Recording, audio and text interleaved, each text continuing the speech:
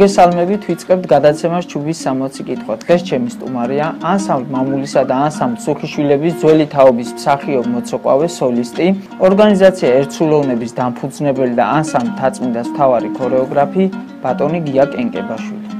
ბატონო გია, მოგესალმებით, უღრმესი მადლობა მინდა გადაგიხადოთ იმისათვის, რომ დღეს ჩემი გადაცემის სტუმარი ბრძანდებით. მოდით პირდაპირ დავიწყოთ.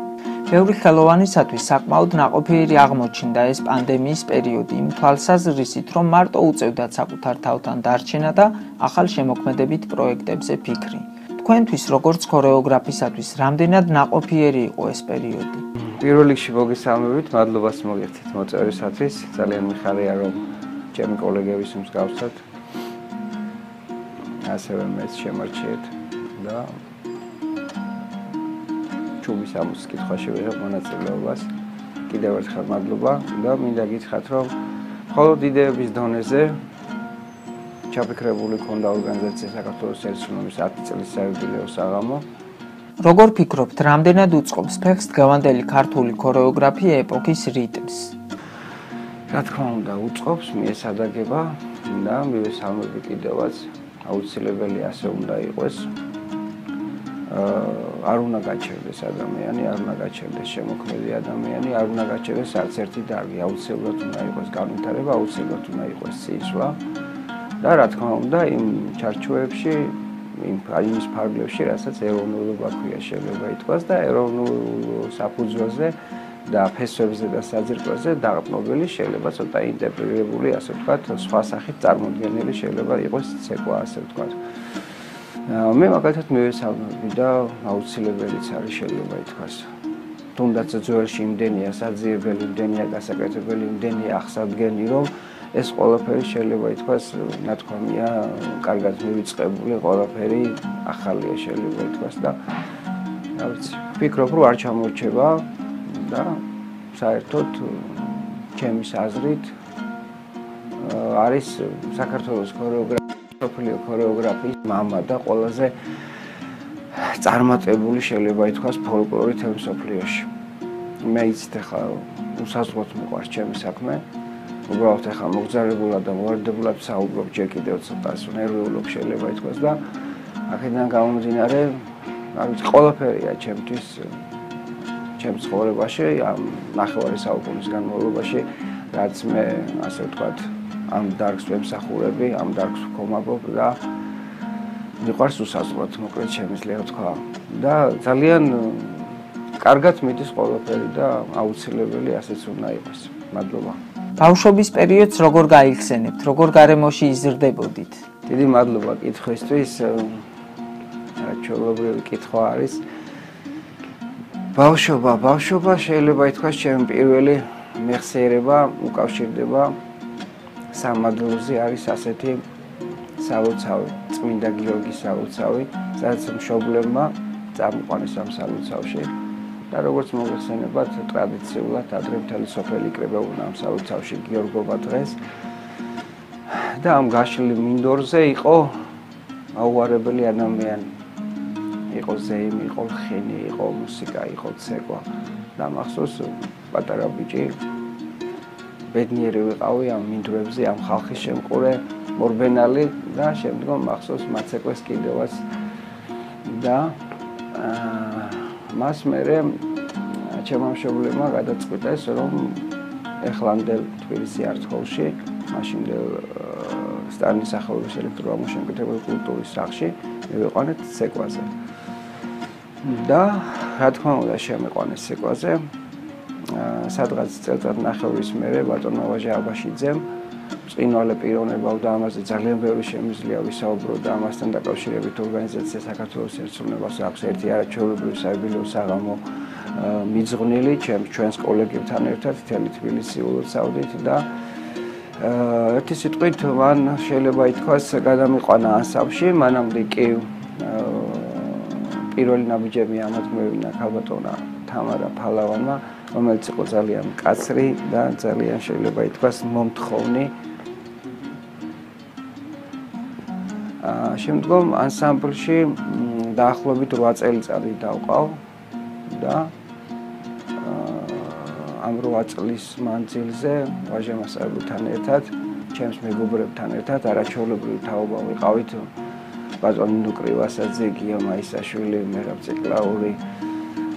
ძალიან ძალიან კარგი თაობა ვიყავით, შეიძლება ითქვას და მოვიარეთ ყოფილი საბჭოთა კავშირის ქვეყნები, მოგზაურეთ უცხოეთში და აი ამ პატარა ეტაპს ასე ვთქვათ, ჩემი საუბრის ასე მოკლე და ლაკონურად გეტყვით, რომ ბოლოს ვაჟამასწავლებელმა სადღაც გაზეთეხის პერიოდში ვიყავი, როდესაც მამო იაკობ სირბილაძის თაობა შეიძლება ითქვას დაახლოებით 8 მოსწავლე გამომიყო და დამაწყებინა უკვე პედაგოგიური მუშაობა. აი ესეთი საინტერესო იყო ბავშვობა შეიძლება ითქვას ჩემ პლეხანოვის კლუბში, ბატონ მაჟაბაშიძესთან ერთად. ამ პლეხანოვის კლუბში მაშინ ბატონი ოთარ სკიტიშვილი, ვალია საჯარი არაჩვეულებრივი პიროვნებები და არაჩვეულებრივი ადამიანები იყვნენ, რომლებიც ჩვენ გზრდიდნენ და აი რაც შეეხება თქვენ ყველაზე მთავარი ერთ-ერთი მშობლები ახსენეთ და მათ შორის დედა და мама. ესე იგი აა ერთხელ მახსოვს დედას უკითხე და ვთხოვე რომ თუ შეიძლებოდა გამაგრძელებინა караტეზე. მე ამ პერიოდში караტეზე დავეწყე ვარჯიში და პარალელურ რეჟიმში გარდატეხის სასაკში კარგად მოგეხსენება ახალგაზრდობას გადაწყვეტილებები შეიძლება ითქვას უჭირს და სხვადასხვა მხარეს იხრებიან. დავჭიდაობდი კიდევაც ამავდროულად ჩემს მეგობრებთან ერთად, ძიუდოს ვჭიდაობდი და შეჯიბრზეც კი გავედი. კარატეში ბრწყინვალე წარმატებები მქონდა. ეს დარბაზი თვითონ იყო პლეხანოვის კლუბში ბატონი თემური და ბატონი ავტომეტრეველები ხელმძღვანელობდნენ, რომლებმაც შემდგომ ეს ჯგუფი დამიტოვეს. მე მე ვიყავი თანაშემწე. და ჩემთვის ძალიან საინტერესო იყო ეს პერიოდი შეიძლება ითქვას და დღესაც უსაზღვროდ მიყვარს არ ვიცი რამდენად საჭირო ალბათ მე შეიძლება ამოჭრათ კიდევაც მაგრამ აი ჩაკებს რო ეძახიან მიჩაბოებს მქონდა ეგეთი პერიოდი რომ საუკეთესო ვიყავი თელ ქალაქში ისე ვატრიალ და დღესაც მაქვს და დილაობით ვარჯიშობ და თან რო დამირეკა კუსტვაზე ვიყავი ასული და რომ მოვდი ვარჯიშობდი და ვეფერებოდი ჩემ თბილის ქალაქს. ერთი სიტყვით იმის თქვა მინდა რომ დედამ დამისვა და მითხრა რომ გია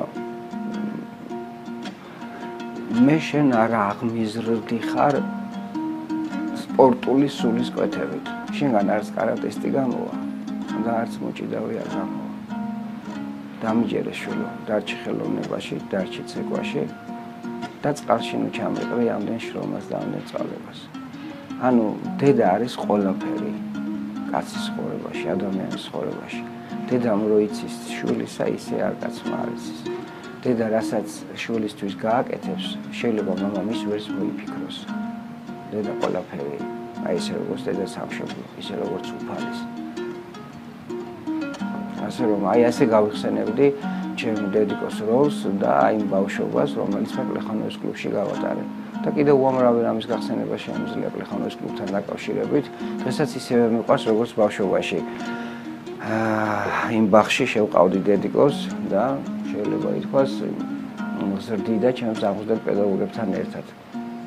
და არა მარტო პედაგოგები და დედა ჩემს გარშემო ურიდიას ქუჩაზე ყოფილ ჩოდრიშულზე უამრავი წინვალე უფროს თაობაში პიროვნებები იყვნენ ადამიანები ვინც ჩვენ ბავშვებს შეიძლება ითქვას უცდიდან კარგად მოგეხსენება მაშინ როგორი დრო იყო რომ ყველა ერთმანეთს ოჯახში მივდიოდით მოვდიოდით ყველა დედა ერთმანეთს მასპინძლობდა და ყველა мама მეგობრულად შეიძლება ითქვას და დიდი სიტყვით და დიდი სიყვარულით ხსრდიდა ასე რომ აი დაახლოებით ასე გავიხსენებდი, რა თქმა უნდა, რა თქმა უნდა, უდიდესი როლი აქვს სანათესაოს აუცილებლად ყველა ბავშვს უყარს თავის დედულეთში წასვლა სოფელში. დედაჩემი იყო გარდაბრის რაიონიდან, სოფელ კომისიდან და ძალიან მიყვარდა სხვათა შორის ამ რაიონში ყოველ ზაფხულს მივდიოდი. იქ დავდიოდი ხოლმე ცხვარში. ხო და აა იქ არის წითელ მიწებს ეძახიან და საძოვრები. ეს გრძელდებოდა რამდენიმე წელიწადი შეიძლება ითქვას დათო და ერთ შენიერ დღესაც გავიდა კულტურის უნივერსიტეტში ჩავაბარე და ბატონმა ბესოსვანიძემ აბა ლიბრეტო დაწერეო რა რა რა რა რას დაიცაო. და მქონდა სადარბაზო ცხონებული კოჯორასეული და ბაგრატიონისეული თაოში და გეგმაში და მწყემსური ერთ მწანებელი მქონდა ეს რუსულად ეწერა ეგ ტეტრადი რამე და ის დავწერე ეს ლიბრეტო. ლიბრეტო რომელიცაც ფრთები შეასხა შეიძლება ითქვას. კახაკარელიძე მუსიკალურად გააფორმა და ლევონმა სუთიაშვილმა აი შეიძლება ითქვას აი ეს ჩემი ერთი ეპიზოდი ცხოვრებისეული შეიძლება ითქვას. დადგა. არაჩვეულებრივი. ესეთი შეიძლება ითქვას სიუჟეტური ესეთი თანახაობრივი ესეთი შინაარსიანი ესეთი ცეკვა და თა ნუ არ ვიცი რა მე მაგალითად ვამაყობ და ბედნიერი ვარ რომ აი იმ ცეკვასთან სიტყვაზე ჩემი ცხოვრების ერთი პატარა ნაწილი არის და ჩემი ახალგაზრდობა არის. ამას წინათ იური გოგოლაურის ხსოვნის საღამო გავაკეთეთ და მაშინ იცეკვა ლევანი მწემსური და და გვერდზე დევს საქართველოს ეროვნების გვერდზე დევს და 8000 ნახვა აქვს. ისე გამიხარდა, ისე გამიხარდა რომ რა გითხრა. და ეს არის ჩემი ცხოვრება, ეს მა ყველაზე მეტად ეს מחარებს. 8000 დოლარი ამოიღო და ახლა მომცე ის ისე არ გამიხარდება, როგორც აი ეს 8000 ნახვა მინახე. რა თქმა უნდა, სანახაობრივია და ამასთანავე კიდევ კარგად მოგეხსენებათ, როგორ იცის ცეკვა გიგლა ნაჭრებიას მეუღლე, ალბათონმა ლენამ, ლუბასთან ვიყავი სტუმრად და მაშინ ლენამ თქვა, რომ აი ბოლო 10 წლებიაო ესეთი სანახაობა არ მინახეაო. როგორ გაიხსენებთ კულტურის ინსტიტუტში სწავლის პერიოდს? ჩემ დროს იყო კულტურის ინსტიტუტი იყო ჩემ დროს. ეს იყო სწორად ვიხსენებ 1999 წელი. მაშინ იყო ბატონი თემური ჟღენტი, ბატონი თენგის სუხიშვილი, ბატონი რეზო ჭანიშვილი, ბატონი უჩადვალიშვილი. ესე იგი სამწუხაროდ შეიძლება ითქვას, მაშინ იყო დაუსწრებელი ფაკულტეტიც კი და ჩვენ მე პირადად მომიწია გადასვლა ჩემი ოჯახური მდგომარეობისა გამო და პლუს ყავდა მაშინ უკვე ქალაქმერი შილკოსხშულის სახელობის სახელმწიფო სკოლა სტუდიის ერთი ბრწყინვალე თაობა ჩაბარებული და მუშაობდი ამ თაობის ახსაზრდელად უდიდეს პიროვნებებთან ერთად მათზე კიდევ მე შემდგომ ასე ვთქვათ ვისაუბრებ და რაც შეეხება კულტურის ინსტიტუტს პირველ რიგში მინდა ის აღნიშნო რომ აუცილებელია აუცილებელია რომ ცოდნასთან ერთად აი ამ სიყვარულთან ერთად კონდეს დიპლომი პედაგოგ ქორეოგრაფს და სათანადო ცოდნა მე ვფიქრობ რომ ძალიან ბევრი რამ მომცა ინსტიტუტმა მიუხედავად იმისა რომ კიდევ გამეორდები და ვიტყვი რომ იყო ეს დაუსწრებელი ფაკულტეტი შეიძლება ითქვას დავამთავრე. ნუ ჯერ მარტო მოდი ასე ვთქვათ მე არ ვიცი მომიწევს თუ არ მომიწევს თუნდაც ბატონ რეზოზე ბატონ თენგიზე საუბარი ამ პიროვნებებთან შეხვედრა თუნდაც იმ გამოცდის ჩაბარება თუნდაც ის პროცესი როდესაც აი დიპლომის აღების პერიოდი მოვიდა. ყველა ის განცდა და ყველა ის მზადება შეიძლება ითქვას თუნდაც ამ ლიბრეტოს თუნდაც ამ სადიპლომოს მომზადება ეს იყო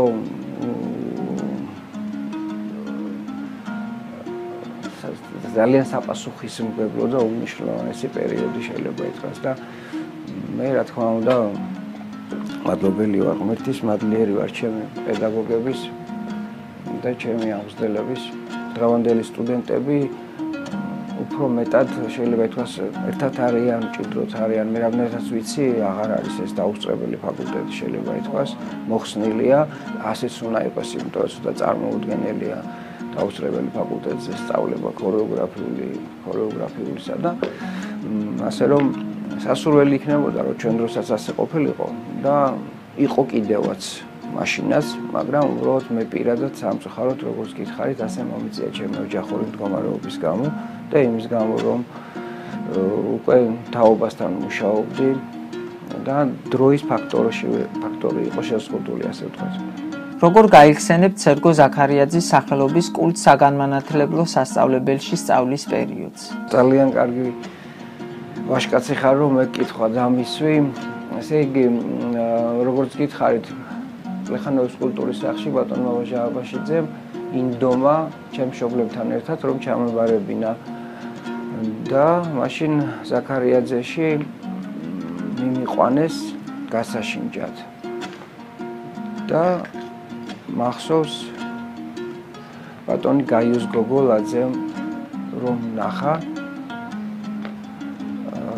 ასე თქვა პირველ კურსზე დასასმელი ვიყავი და პირდაპირ ასაფში შემთავაზა ყოფნა. იქ სადღაც მესამე მეოთხე კურსელები იყვნენ ასაფში არაჩვეულებრივი პიროვნებები არაჩვეულებრივი ადამიანები. სამწუხაროდ მე არ მომიწია ულსაგან მონაცემლოში სწავლის გაგრძელება სხვადასხვა მიზეზების გამო მაგრამ სიამოვნებით დავდიოდი შეიძლება ითქვას 6 თვე სანამ სიაში შემიყვანდნენ.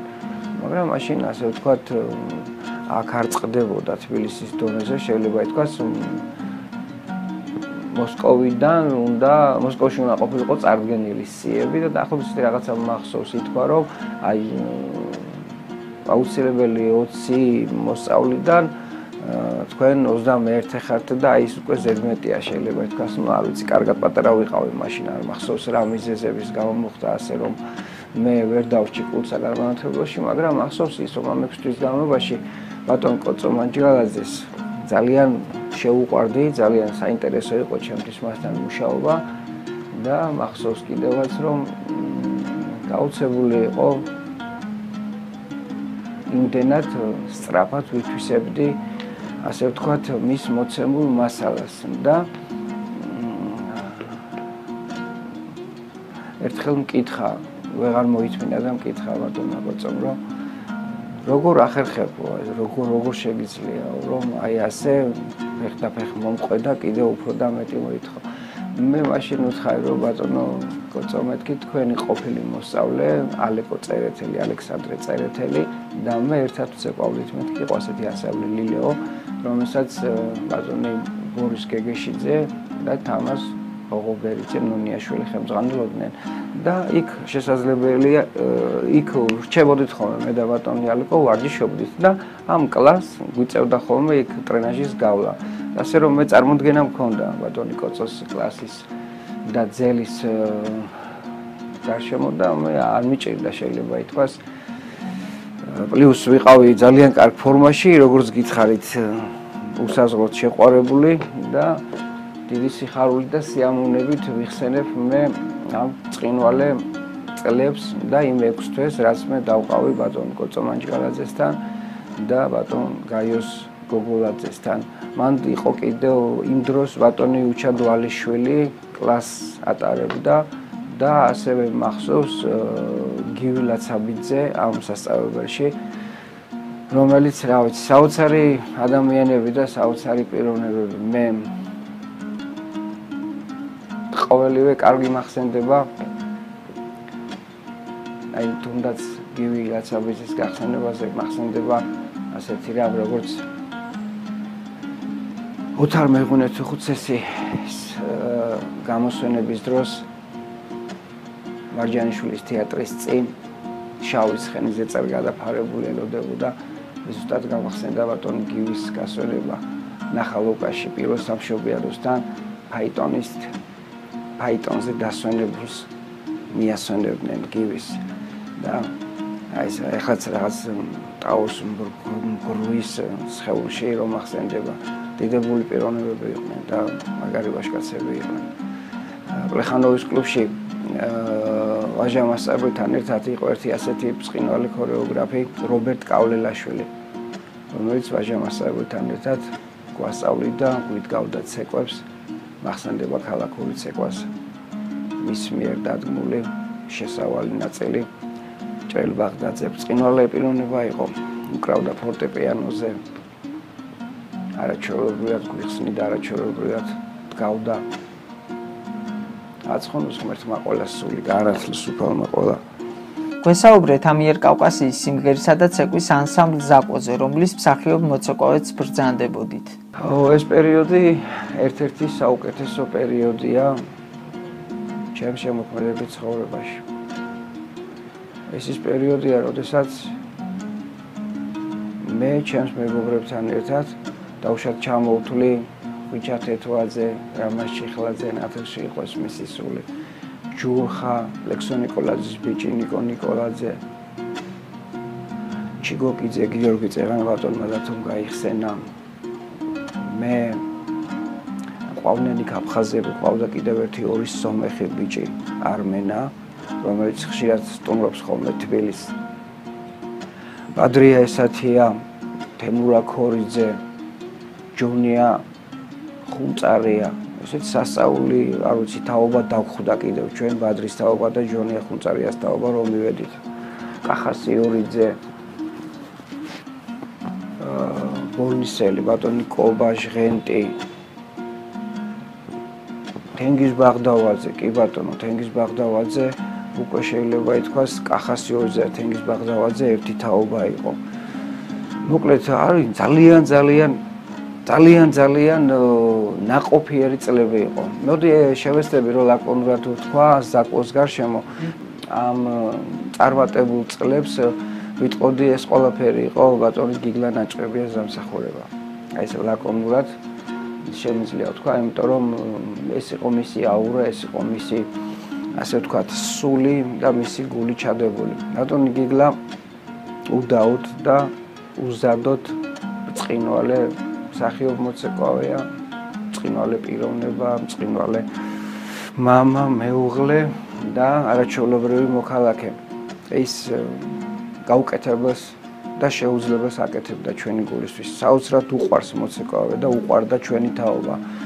აა ბატონმა გიგლამ შეძლო და ეს იყო 99-90 წელი და შექმნა ორგანყოფილებიანი პროგრამა და იმ პერიოდში გოს კონცერტის მხარდაჭერით მოგზაურეთ პარიში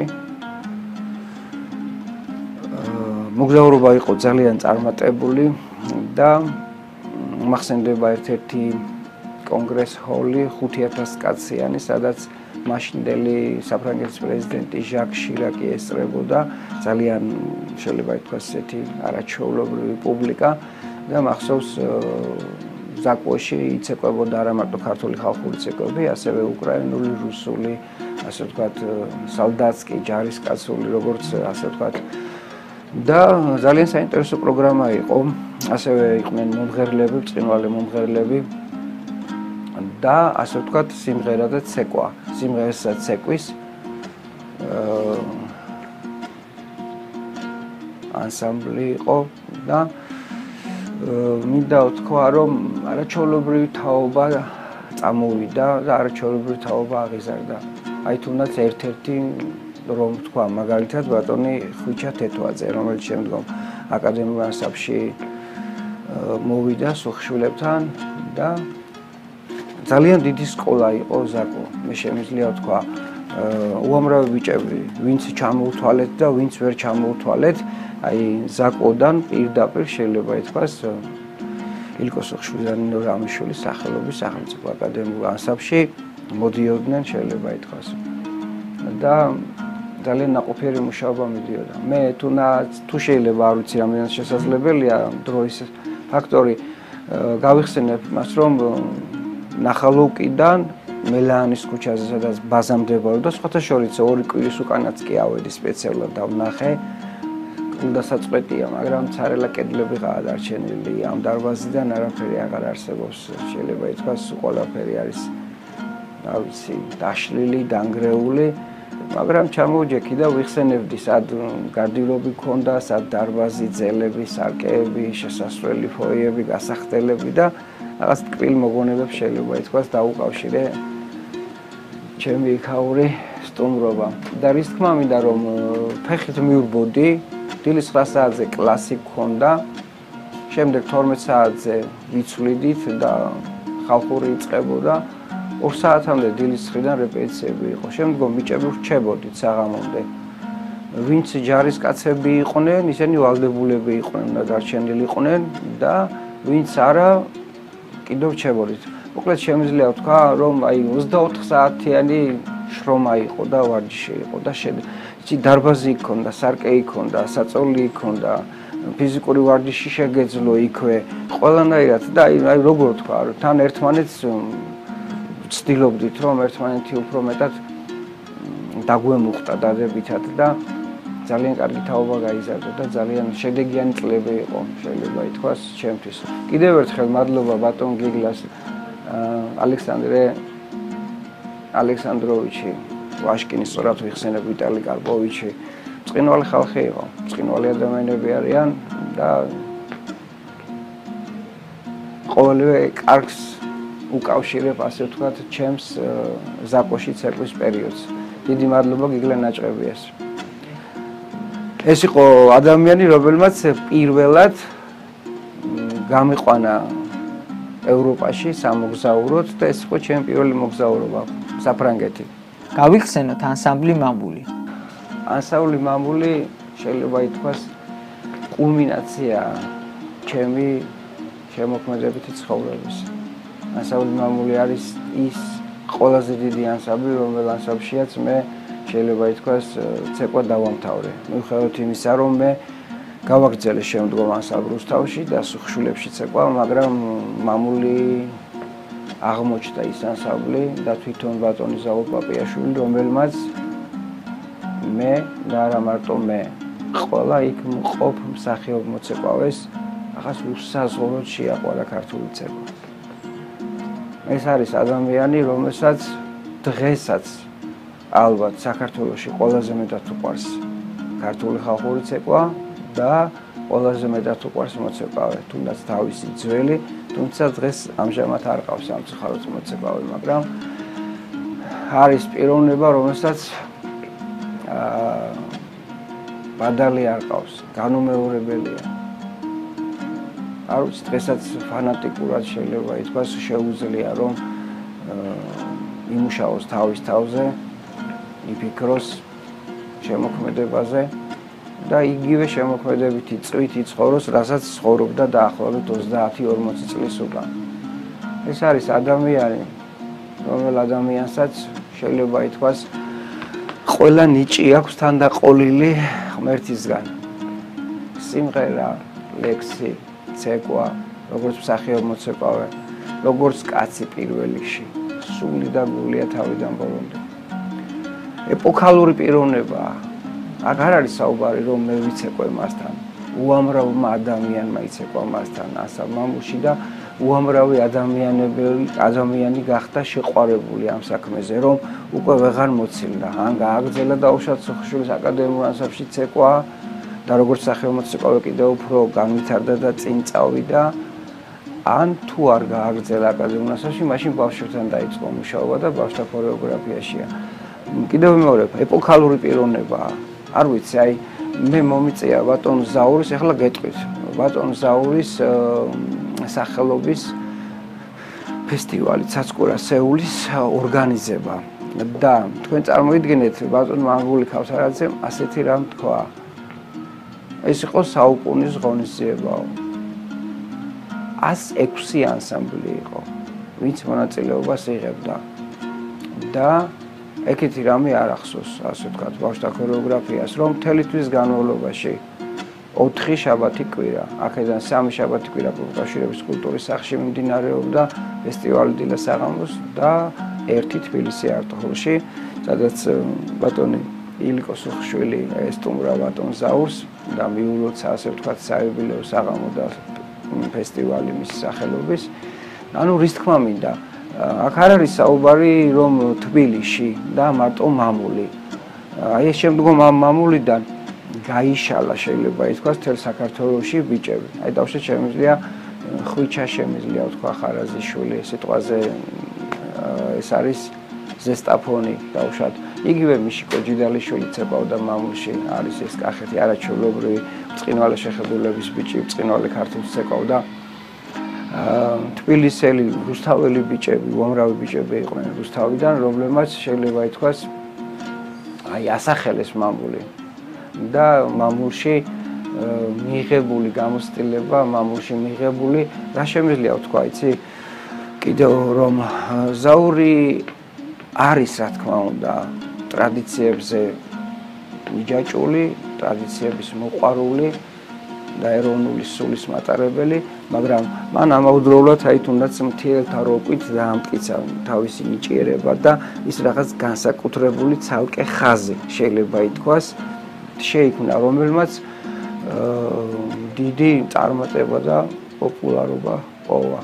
და მინდა გითხრა რომ ასე ვთქვათ აი მის მოცეკვავებს დღეს მსოფლიო ტაშს უკრავს და ეს ალბათ ყველაზე დიდი სიხარულია და ყველაზე დიდი წარმატებაა რომ შენ აღზრდილებს მსოფლიო ტაშს უკრავს და შენს ცეკვას რომ მსოფლიო ტაშს უკრავს უნიჭერესი ადამიანია.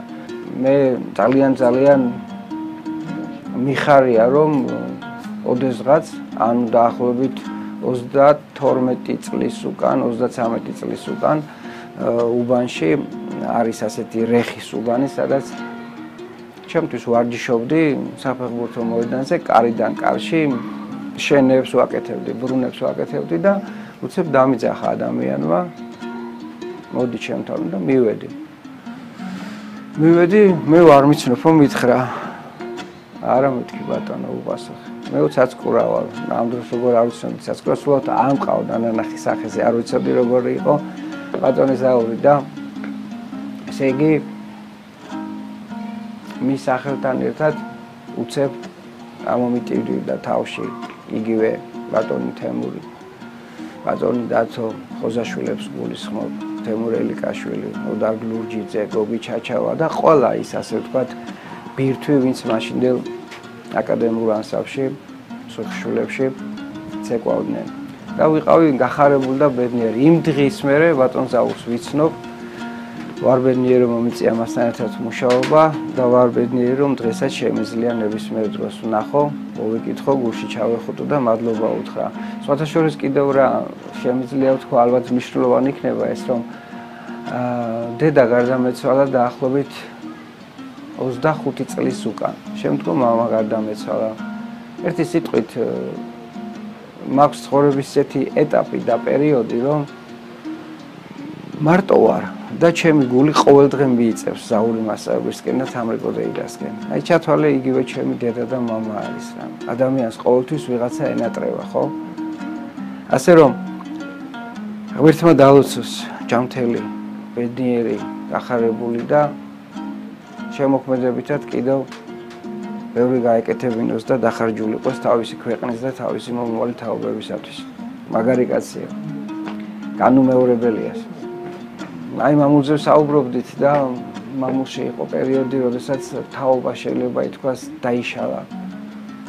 მოვიდა ახალი თაობა, სადაც მე გამიჭირდა დარჩენა მე ბატონ ზაურთან ერთად მუშაობდი ანსამბლ მამულის ახალ თაობასთან და შეიძლება ითქვას ნაყოფიერად შეიძლება ითქვას ვიხარჯებოდი სიამოვნებით აა როდესაც მამულში ვცეკვავდი დილის 6 საათზე ვიწყებდით თბილისის ზღვაზე ვარჯიშს. ვაგზელებდით მედიკებში 9 საათიდან 10 საათიდან შემდგომ მოდიოდა უფროსი თაობა 12 საათზე ვაჟები, შემდგომ გოგონები 5 საათზე. საერთო რეპეტიციები ქონდა სადღაც აღამოს 7 საათამდე. ნუ არ ვიცი, შემიძლია ვთქვა თავისუფლად თუ აი 12 საათიანი ვარჯიში და რეპეტიციები ქონდა სამამულში. და სხვათა შორის დავამატებ იმას, რომ ესეთი შემოქმედებითი წვა, როგორიც იმ წლებში ასალმამულში იყო. არც ერთ სხვა ასაფში თელი ქვეყნის მასშტაბით არსად ისეთი შემოქმედებითი წვა, ისეთი ოფლის ღრა, ისეთი სიახლეების კეთება არსად არ იყო და რაც კიდევ ერთხელ ვიმეორებ ეს ყველაფერი ბატონ ზაურ პაპიაშვილის დამსახურება და არა მარტო მისი. აქვე შემიძლია ვთქვა ცხონებული კობაჯი ბღაშვილი და აქვე შემიძლია ვთქვა ადამიანები, რომელიც იმ წუთას ბატონ ზაურს გვერდში ედგნენ, გულისხმობ მუსიკოსებს და მის თანაბუნდელებს მუხტას დაშნიას და ასე შემდეგ და ასე შემდეგ. გაიხსენეთ სუხიშვილების ანსამბლში მისვლის დღე.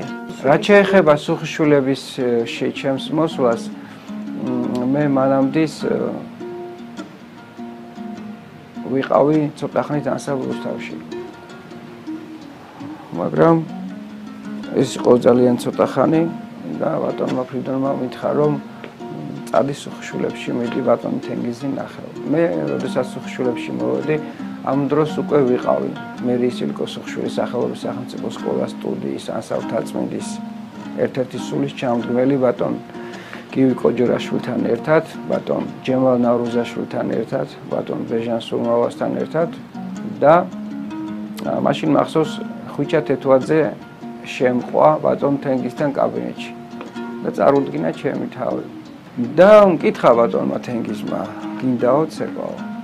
მე წარუძდექი უთხარელი ვიყავი, რომ ვიყავი დიდი ილიკოს უხშულის სახელობის სახელმწიფო სკოლა სტუდიის ანსამბლის ხელმძღვანელი და მინდოდა ცეკვა. მან პირდაპირ მითხრა, რომ ადი დარბაში და დაიწყე რეპეტიციები. ვეცდები რომ ლაკონურად და მნიშვნელოვანი გავიხსენო ჩემი სუხიშვილის ანსამბლში ყოფნის პერიოდში. უპირველესად რა თქმა უნდა ნინა შაულინა, ალბათო ნინო რამიშვილი. ადამიანი რომელიც ყველაფერი იყო იმ პერიოდში თითოეული ჩვენთაგანისთვის. მისი თითოეული რეპეტიცია მახსენდება. წინახაში მიწევდა ხოლმე დგომა და მისი წვანე ფერის ლამაზი თვალები. ერთხელ მახსოვს აა ისიდოროვიჩმა ბადრი ცხოვრებაულმა ჩემზე უთხრა ხორმში ვიდექი მე 40 ბიჭი ყველაზე პატარა სიმაღლიდან გამომდინარე კარგად მოგიხსენებათ როგორც არის და აა ყაზბეგურშიო მაშინ ნოდარ გლურჯიძის ადგილი იყო თავისუფალი გუშინ ბატონ დათოსთან ერთად ვიხსენებდი რომ აცეკვეო და მახსოვს ერთი მხრიდან ბატონი შალოგოგუაძე ხტებოდა მეორე მხრიდან მე მომიწია გადმოსვლა. და ნინა შავლოვნას აა ჩემი აცეკვის მე რეაქცია იყო ესეთი. ხაროში პარე ნო ნი ოპიტნი აი ესე შეაფასა ასე ვთქვათ ჩემი ნაცეკვი და აბსოლუტური ჭეშმარიტება იყო. ძალიან გამიცდიდი მაშინ მე გითხარით დარბაში მინორამიშვილის და ბიჭებთან დარბაში მეგობრებთან მიხვდით იმისა რომ ჩემი ყოფილი მეგობრები, ყოფილი მოსწავლეები ცეკვავდნენ და ასე შემდეგ, მაინც ეზოში შემოსვლა, აი ამ ბახში შემოსვლაც კი მიჭირდა და იმდენად რთული იყო ასე ვთქვათ, მაშინ გაგებედა რომ მოსულიყავი სუხშულის ანსამბლში. მოკლედ იმის თქმა მინდა რომ ყველაზე სამახსოვრო ჩემთვის ის არის რომ აკადემიურ ანსამბლთან ერთად სუხშულებთან ერთად ვიცეკე 50 წლის საიუბილეო საღამო. როგორც გითხარით ხორომიდან ამომიყვანეს. ყაზბეგურში ბატონი დათო უბრეხელიძე ჩადგა. და მე დავჩი მე დავჩი ასე ვთქვათ შეჯიბრში ხუთეული ვაკეთებდით ტრიალდაცემას და ვიცეკვე ქალაქური ბლოკის კინტოში და ეს დღე იყო ჩემთვის შეიძლება ითქვას ის რომ აი მე ერთხელ ვიცეკვე სოხშულებში და ვიცეკვე ეს 50 წლის საიუბილეო საღამო. არ ვიცი, ბედნიერი ვიყავი იმ დღეს, მაგრამ შემიძლია ვთქვა, რომ როგორც მსახიობ მოციკავე ვერ გამვითარდი. ვერ დავჭი დიდხანს უხშულის ანსამბლში. როგორც გითხარით, მაშინ მე უკვე მყავდა ილკოს უხშულის სახელობის სახელმწიფო სკოლას სტუდიის თაობა მონდობილი და შეიძლება ითქვას გადამძლია უფრო პედაგოგიურმა, ასე ვთქვათ, მუშაობამ. და გავაგრძელე კიდევაც და სხვათა შორის ერთი წინვალი თაობა აღუზარდე, აქვე რო ვთქვა ბატონ ლევან სუთიაშვილის თაობა ცოხშულებს და მიამაყება რომ ასე ვთქვათ, ეს წლებიც ჩემთვის ناقოფიერი იყო. რაც შეეხება თენგიზ უხიშვილს ეს იყო მაგალითი კორორიტი პიროვნებას. სანიმუშო ადამიანი. სიყვარულს გძნობდი მისგან. ერთხელ მახსოვს ბატონ ჯემალ ნაუროზაშვილმა თხოვა მობრძანებულიყო პროკავშირების კულტურის სახლში საანგარიშო კონცერტის სანახავად და მობძანდა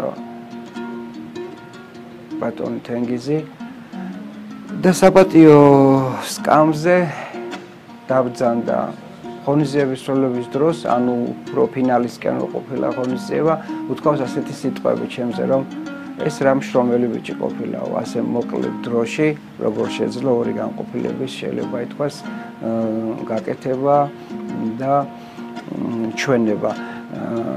კი, შეიძლება ითქვას, რომ ვარ შრომის მოყარე და ეს არის მე გითხარით კიდევაც ჩემი ერთ-ერთი პირველი, ასე ვთქვათ, პლუსი. ადამიანს ხო აქვს სხვადასხვა თვისებები, ხო?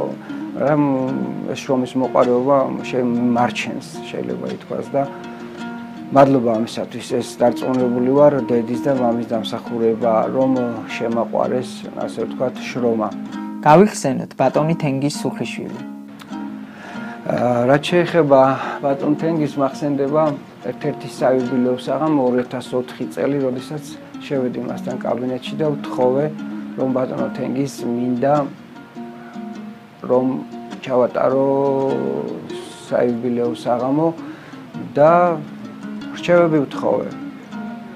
აა ბიჭები რომლებიც ანსამბლში იყვნენ მოსულები ვთხოვე ეს ბიჭები. არ ვიცი როგორ ახსნა მამა რო შვილს ვერ აუხსნის, ისე ამიხსნა ყველაფერი როგორ მომწეულიყავი. მითხრა რომ საიუბილეო საღამო თვის ოპერა არის მისწრება და აუცილებელი და აუცილებლად ოპერაში ჩაატარა. მითხრა რომ მედიოდნენ ავსტრალიაში და პერიოდი განმისაზღვრა, როდის ჩამოდიოდნენ და როდის დამახმარებდა ჩემს აღზრდილ მოსწავლეებს. იმიტომ რომ საიუბილეო საღამოში დაახლოებით 150 კაცმა მიიღო მონაწილეობა. ოპერაზე უარი თქვით იმდენი იყო, ვერ დაეწეოდა ფიზიკურად და ბოლოს ფილარმონია გადაწყდა. და აქ იყო უფროსი თაობა, აქ იყო შუა თაობა და იყო სტუდია. ანუ მოუყევი ყველაფერი შეიძლება ითქვას, მაშინ ვან ბრძანა რომ მოვიდოდა სახალხო ანსამბლის წოდებას გადმოგცემდა ანტრაკ და ასე შემდეგ. ბოლოს ისე მოხდა რომ საერთო ეროვნული კავშირის ყრილობა დაემთხვა ასე ვთქვათ ჩვენს საიუბილეო საღამოს 2004 წლის 28-ში ქონდა და თუ არ ვცდები 29-ში იყო ყრილობა, ნუ ვერ მოხერხდა ბატონი თენგიზის მობძანება სოლო კონცერტზე, მაგრამ მოვედი სოლო კონცერტის მერე და მოუტანე მაშინ არ იყო DVD ალბომები, იყო მაშინ კასეტები იყო. და ზე წავაწერე თენგის სუხიშვილს, სოფლიო გვარიშვილს. და მივართვი ეს, მას კითხავენ ვერ ნახეთ ბატონ თენგის მეთქი აა საიუბილეო საღამო და მეთქი აი კასეტაზე მაინც იქნება და ნახოთ მეთქი. იმიტომ რომ თუ რო უყვებოდი თავიდან როგორ ვაპირებდი აღთოვან და გავოც და ესე იგი მარტო აკეთებ ხო ამას ყველაფერსო? კი მეთქი ბატონ თენგის და თუ მეთქი ვინმე დამეხმარება მეთქი ხო კარგი და კარგი იქნება. მოკლედ აი არა მარტო მე მე ვფიქრობ რომ ყველას თელ თბილისს უყვარდა თენგიზი და თელ საქართველოს უყვარდა და თელ სოფლიოს უყვარდა. ყველას უყვარდა. თენგიზი იყო კაცი თენგიზი იყო სიტყვის კაცი თენგიზი იყო პიროვნება თენგიზი იყო ადამიანი რომელსაც კიდევ დიდხანს უნდა ეცოცხლა. მაგრამ სამწუხაროდ ცოტა ადრე მიიბარა უფალმა მისი სული ნათოში იყოს მისი სული და გაანათლოს უფალმა არ ვიცი, აი მახსოვს ჩაუხუტები ვარ და ხელში აუყანი ვარ ფოეში აქ შესასვლელში. ძალიან მაგარი კაცი. საქართველოში ბევრი წარმატებული ქორეოგრაფიული ანსამბლია, თუმცა სუხიშვილები ერთგვარ ბრენდად იქცა და დროის გამოწვევებს ღირსეულად პასუხობს. როგორ ფიქრობთ, რა არის ამ წარმატების საიდუმლო? საქართველოა. საქართველოს ყველა კუთხის ცეკვაა. საქართველოს შვილებია. ერთი დიდი ოჯახია სითბოა სიყვარულია სისუფთავია სულია ნინო რამიშვილისა ელიკოს ოხშვილისა წინოერთ აგძლებენ ახალგაზრდები ამ ტრადიციას.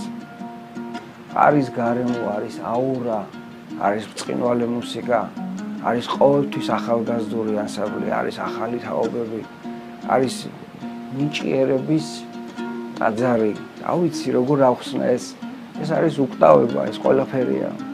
ეს არის ავთანდილ ჩემო კარგოც მიშვილო როგორ ვთქვა?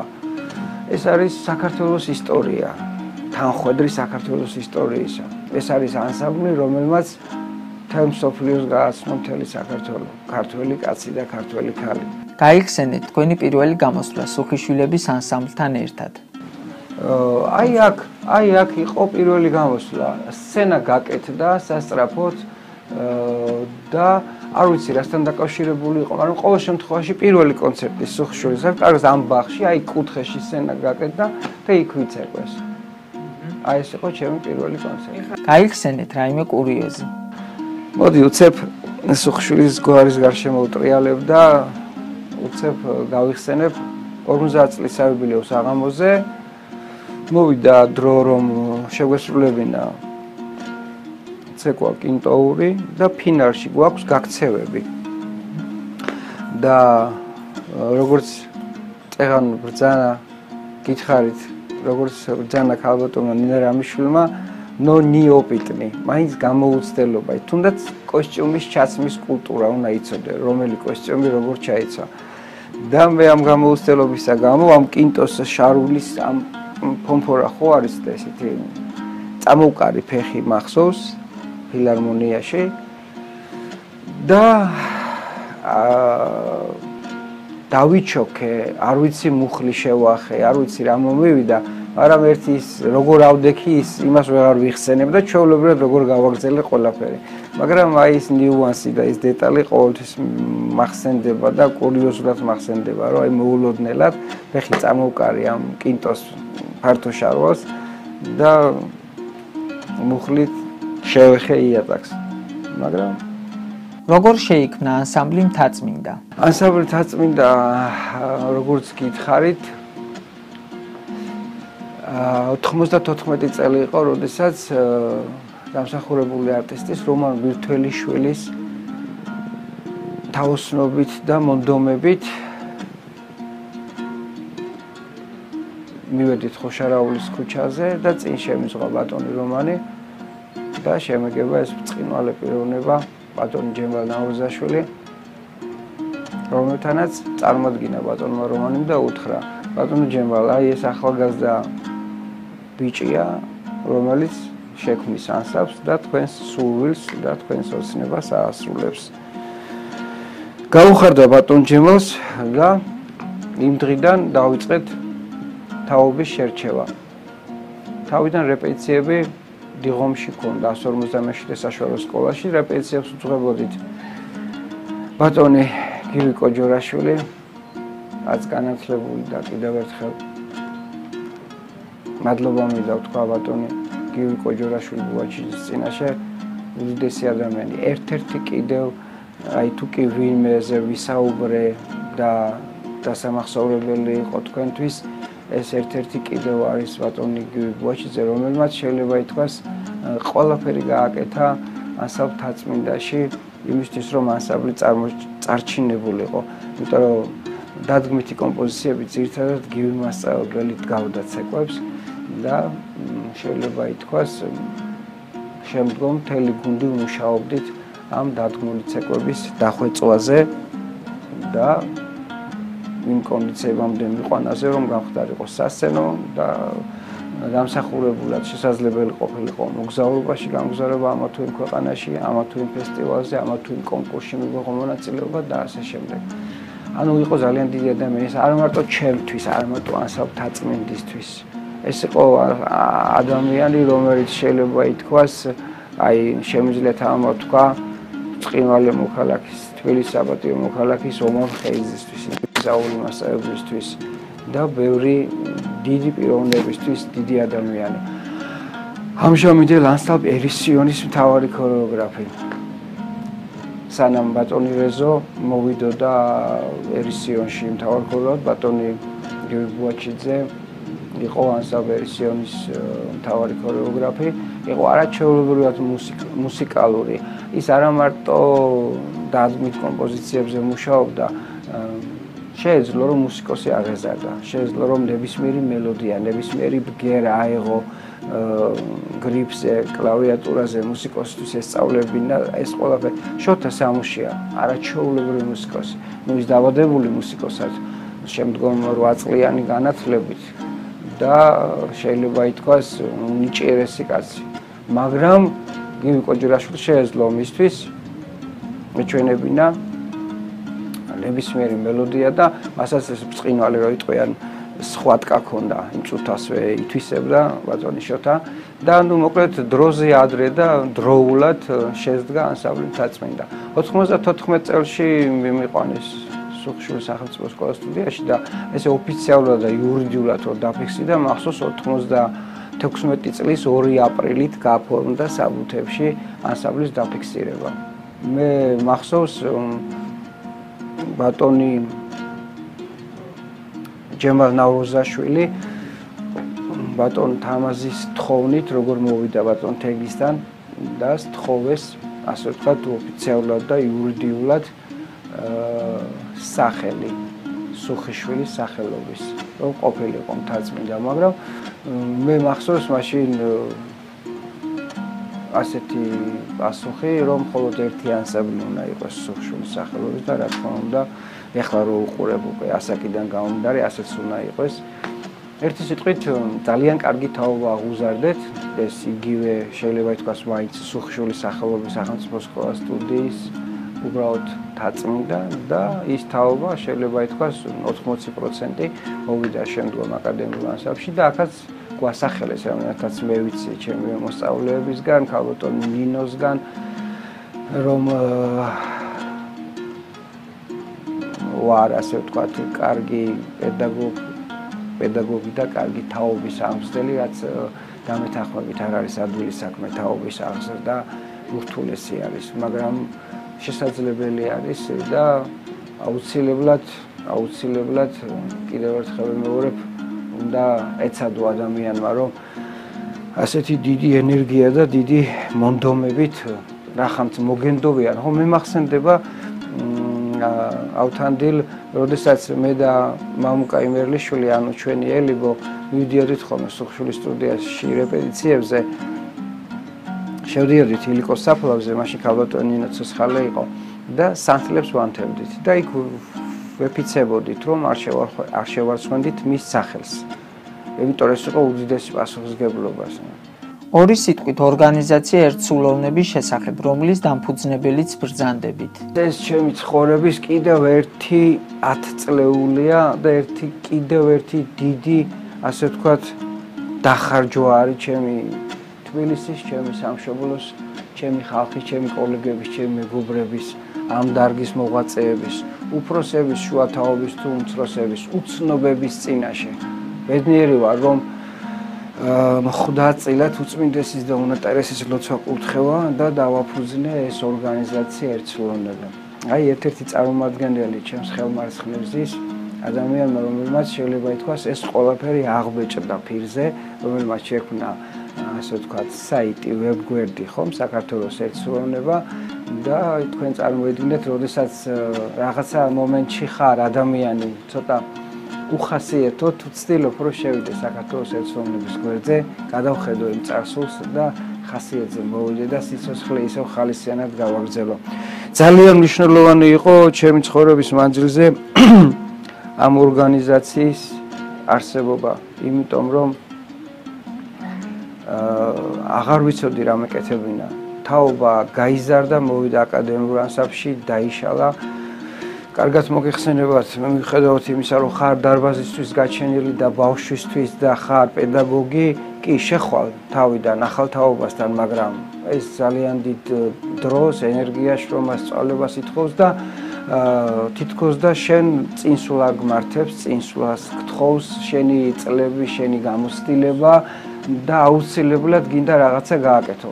და აი ზუსტად ამ პერიოდში ვიყავი, პლუს ამასთან ემთხვევა რაღაცა გაჭირვებები ცხოვრებისეული, რაღაცა უკმაყოფილობები შეიძლება ითქვას რაღაც რაღაცეების და ან თუნდაც მოთხოვნილებები ოჯახიდან, მეუღლიდან, შვილისგან, ან თუნდაც მეგობრისგან, თუნდაც რა ვიცი, ყველაფერი და ვცდილობ რომ რაღაცა გააკეთო, რაღაც ახალი გააკეთო, რაღაცა შემოქმედებით წვაში იყო ისევ.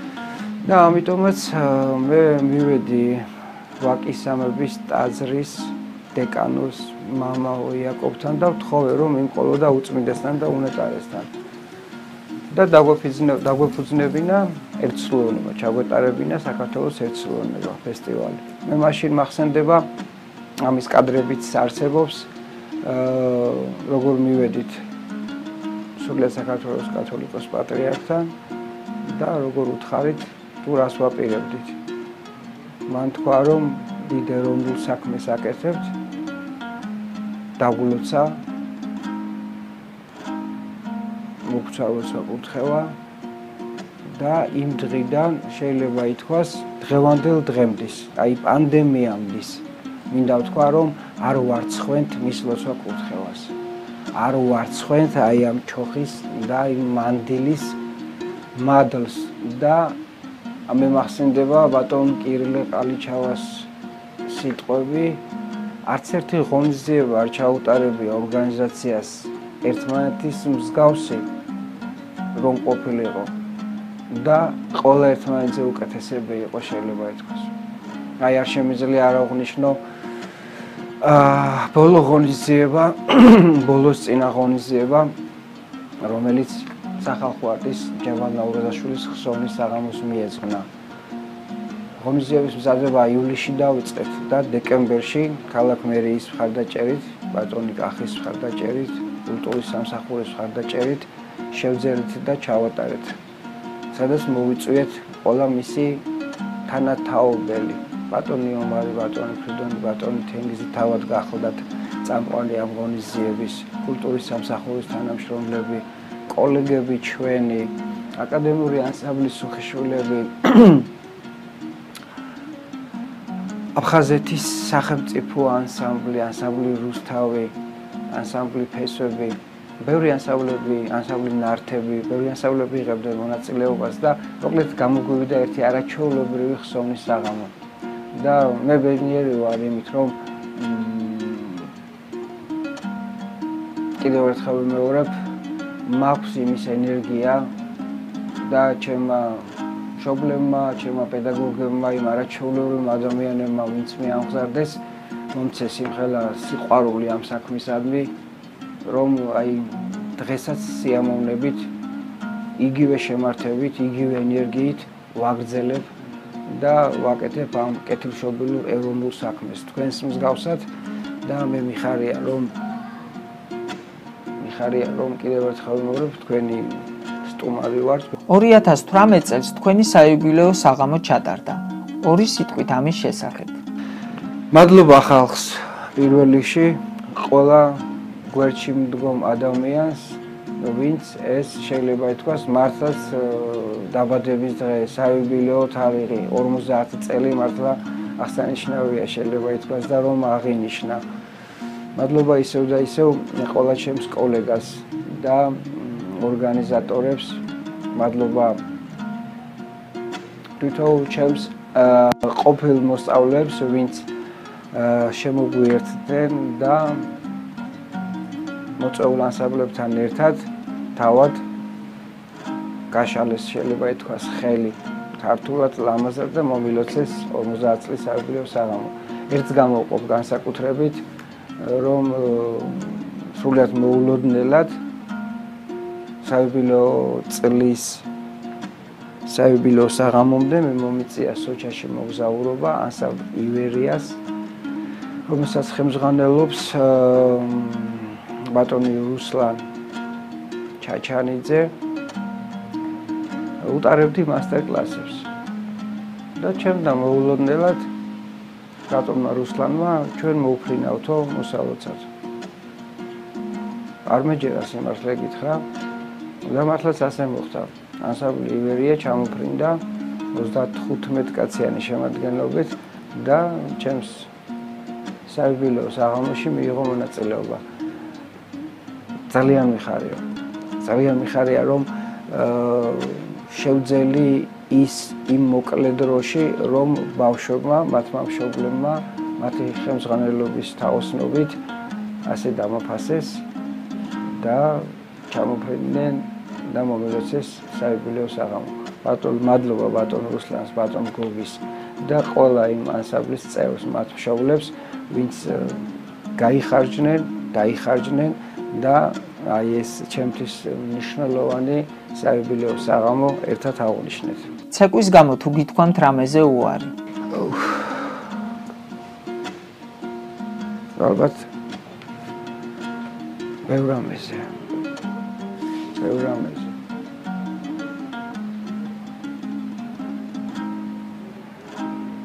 ძალიან ზედმეტი სიყვარულიც არ ვარგა. ბევრ რამეზე მithქვავს უარი ცეკვის გამო.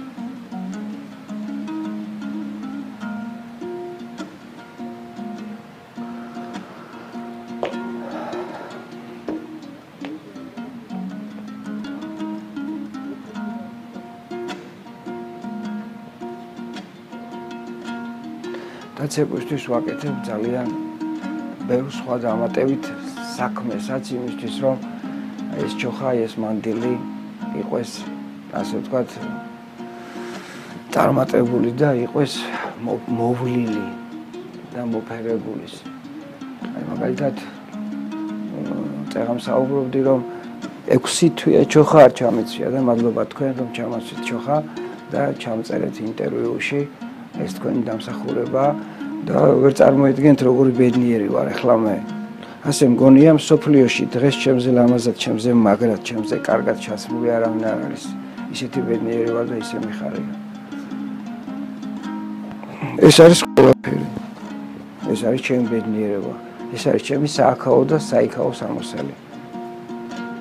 ცეკვა ფორმა ყველაფერი ეს არის ჩემი, აი როგორ გითხრა, უნდა ამართლებდე რაც გაცვია, უნდა იმსახურებდე ის რაც გაცვია, ვითაც დადიხარ და აი ერთადერთი რასაც ვფიქრობ და გულწრფელად შემიძლია ვთქვა, რომ მე ამის ჩაცმა დავიმსახურე და ბენიერი ვარ, როცა ჩოხამაცვია და მithumetes თქვენისთან ადამიანებთან ვზივარ და ვსაუბრობ ამ უდიდეს, ამ უბწყინვალეს საქმეზე, რომელიც ყველაფერია ჩემი ქვეყნისთვის, ჩემი სამშობლოსთვის.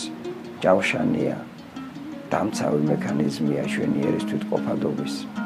ეს არის ჩვენი ერის ისტორია და ყველაფერია ცეკვა შეიძლება ითქვას, ყველაფერი დევს ცეკვაში და შეიძლება ითქვას ამ ცეკვამ, ამ სამუსეულმა მუსიკამ და ამ ჰანგმა შეაყვარა თემ სოფლიოს ჩვენი სამშობლო და მთელი საქართველო. ჩვენ თვითონაც ვართ რა თქმა უნდა ჩვენ ვართ რომლებიც გამომსახველობით რომლებიც ჩვენი ბწყინვალე პლასტიკით და ჩვენი ჟესტიკულაციით ვაჩვენებთ. თერმსოფლიოს თუ რა ჯულის და რა ხალხის რა ხალხი ვართ მაგრამ აი კიდევ ერთხელ ვიმეორებ ამ ყველაფერში არის კოსტიუმი ამ ყველაფერში არის მუსიკა ამ ყველაფერში არის ჩადებული ერის ისტორია და ეს არის დიდი საგანძური დიდი საუნჯე. ბედნიერი ვარ რომ ღმერთმა ასე ინება დედამ ასეთი სულისკვეთებით ამგზარდა რომ ამ საქმეს ვემსახურები და ხანდახან კი ვარ ხოლმე პესიმისტურად განწყობილი მაგრამ მე დარწმუნებული ვარ რომ მომეცემა საშუალება აი შემდგომ არჩევნებში რომ ამ დარგს კიდევ უფრო ნათელი მოვფინო და ამ დარგის მოღვაწეებს თქვენ თქვენის დამოუკიდებლად ჩემს კოლეგებს კიდევ უფრო უკეთესი, ასე ვთქვათ, პერსპექტიული ცხოვრება შევქმნათ ჩვენის ხალხის თანადგომით და მხარდაჭერით. ეს არის კიდევ ერთი შეიძლება ითქვას ჩემი სამომავლო გეგმა და იდეა და იმედი. ქართველი მოცოკვავისათვის რამდენად მნიშვნელოვანია საბალეტო ელემენტებზე, ანუ კლასიკაზე მუშაობა? დიახ, რა თქმა უნდა, მნიშვნელოვანია, შეიძლება ითქვას და აუცილებელიც არის. იმიტომ რომ მინდა გითხრათ რომ ვითარდება ადამიანის კიდევ ერთხელ მოგრებ ტვინი გონება თითოული კუნთი თითოული ილეთი თითოული ვარჯიში. აა თქვენ კარგად მოგხსენებათ რომ როგორი სწორად არის დალაგებული თუნდაც ძელი ავიღოთ კლასიკურ ცეკვაში. ეს თუ მარცხენა ხელი ძელთან მარჯვენა ფეხი სარკისკენ მაყურებლისკენ ნამუშაობდეს შემოbrunება ეს დანჯუ ბატმანია რელევია ფონჯიოა თუ რაც არის ორჯერჟა ყველაფერი სრულდება და კეთდება. კიდევ ერთხელ ვიმეორებ სწორად აკადემიურად და თითქოს რო არაფერი არ აკლია იცი? აი ასეთნაირად როგორც ახლა აი ამ ჩოხას და ამ სამოსეს არ დამავიწყდეს ბატონ არსენ მათიაშვილის ორი სიტყვა აუცილებლად მათქვევნით იმიტომ რომ ის უდიდესი ადამიანი იყო და უდიდესი პიროვნება იყო. ერთი სიტყვით იმის თქმა მინდა რომ აუცილებელია ზომიერების ფარგლებში აუცილებელია და მადლობა ყველას, ვინც კი დაწყებული ზაურ პაპიაშვილი, გიგლა ნაჭყებია, უჩადო ალიშვილი, ვინც კი მახსენდება ქალბატონი ოლია, ვინც აი ეს კლასიკური ცეკვის ელემენტები და ილეთები შემოიტანა, ასე ვთქვათ, თავთავიანთ დროზე, იმიტომ რომ უფრო ხელი შეუწყო განვითარებას ქართული ხალხური ცეკვის და უფრო შეიძლება ითქვას წინსვლა წინსვლა იგრძნობოდა. მე მახსენდება ზაკოს პერიოდი, აი თუნდაც ავიღოთ ეს ჯონი ხუნწარია გავიხსენე. ფრინავდა პიროვნება ესე იგი. ფრინავდას. და ძალიან მოკლედ რო გითხრათ, რომ არა მას ის პადიუმი, ის მუხლი, ის პახი, ის შპაკატი, ის გაწელვები ის ყველაფერი ხომ რუსული ტრუკი არანაკლებ რთულია ქართულ ტრუკზე ვერ შეასრულა. აუცილებლად ამას ჭირდება პლასტიკა ამას აუცილებლად ამას ჭირდება აი როგორც ქართულ ხალხურ ცეკვაში თუნდაც ტრუკში. სწორი სწავლება სწორად კეთება საჭირო ანუ მე ძალიან ძალიან როგორ თქვა აი მოდი ასე ვიტყვი რომ დედა სამშობლო საფრანგეთი, ინგლისი და რუსეთი, ხო? ბალეტის კლასიკური ცეკვის. თავისუფლად შემიძლია ვთქვა, რომ ეს არის უნიშნულოვანესი ეს არის ცეკვა, რომელსაც თელი მსოფლიო აღიარებს და ეს არის კიდევ ერთხელ მოვარებ ზომიერების ფარგლებში აუცილებელი, რომ ხალხურ, ქართულ ხალხურ ცეკვაში იყოს დანერგილი. რავიც მე მივესალმე ზომიერების ფარგლებში. თქვენ უამრავ ქვეყანაში ხართ ნამყოფი. აქედან რომელიმე ქვეყანას თუ გამოარჩევდით? როგორც აღნიშნე, პირველი მოგზაურობა ჩემი საფრანგეთი იყო და რა თქმა უნდა, საფრანგეთმა დაწყებული პირველი პირით მოყოლებული ბრწყინვალე არქიტექტურით ეიფელის კოშკი, სისუფთავე. და შეიძლება ითქვას ის რაც მე 90-იან წლებში იქ ვნახე შემდგომ ერთი 30 წლის შემდეგ გაკედა სამწუხაროდ ჩემს სამშობლოში და ჩემს დედაქალაქში. ბევრი რაღაც მაქვს ხედულობაში, მაგრამ მაგარი ის არის რომ ძალიან დიდი შტაბეშტილება მოახდინა. პირველი მოგზაურობა იყო და საფრანგეთი ძალიან კარგად მახსენდება. მეორე რაც შემიძლია ვთქვა, ეს იყო რომი, ვენეცია, სან-მარინო, რიმინი, უნგრეთი, ბულგარეთი, რუმინეთი, სტამბოლის მოგზაურობა, სადაც დაახლოებით ერთი თვის განმავლობაში მოგზაურობა ანსამბლთან თაწმინდა, რომელსაც ბატონ ჯემალ ნაუროზაშვილის ხელმძღვანელობით შეიძლება ითქვას გავემგზავრეთ, რომელ მოგზაურობაშიაც გავემგზავრეთ და იყო ძალიან საინტერესო. რა თქმა უნდა, პეტრეს ტაძარი, პეტრეს ტაძარი, რომი, ვენეცია, არაჩვეულებრივი სანახაობა იყო. უნგრეთის არქიტექტურა, სისუფთავე, ძალიან ძალიან აა დასამახსოვრებელია, როდესაც გადიხარ შენ ქვეყნიდან არადა მოგზაურობა ყოველთვის იტაცებს ადამიანებს და ჩვენს მაშინ მით უმეტეს ახალგაზრდები ვიყავით და ძალიან საინტერესო იყო უცხო ქვეყანაში მოგზაურობა. სასიამოვნო სამუდროულად საინტერესო სასიამოვნო თუნდაც გზაზე ასაბთან ერთად. ნუ ასაბთან ერთად არის ძალიან საინტერესო და ძალიან დასამახსოვრებელი. თითოეული ბავშვის მოვლა, მოგზაურობა, შეჩერებები მათი ყვება, მასზე ზრუნვა, თითოეული ფესტივალი, თითოეული ღონისძიება, საფესტივალო ორგანიზაციებთან შეხვედრა, მათ წარმომადგენლებთან, ამა თუ იმ ეკლესიაში, ტაძარში შეხვედრები, გამოსვლები. ძალიან კარგად მახსენდება იტალიის მოგზაურობა. ეს იყო 96 წელი. და მადლობა ყოველას იმ თაობას, მათ მშობლებს, ორგანიზატორებს და ყოველას ვინც მაშინ ამ მოგზაურობაში თან გვეხდა ასაფთაწმინდას. თით განსხვავდება ქართველი და უცხოელი მაყურებელი. პირველ რიგში ცოდნით. ცოდნით შეერაღებული ადამიანი უძლებელია უნდა თქვამია. ქართულ მაყურებელს ცოდნა აქვს. დიდი სიყვარული აქვს თავისი კულტურისა და მეც მოითხოვს.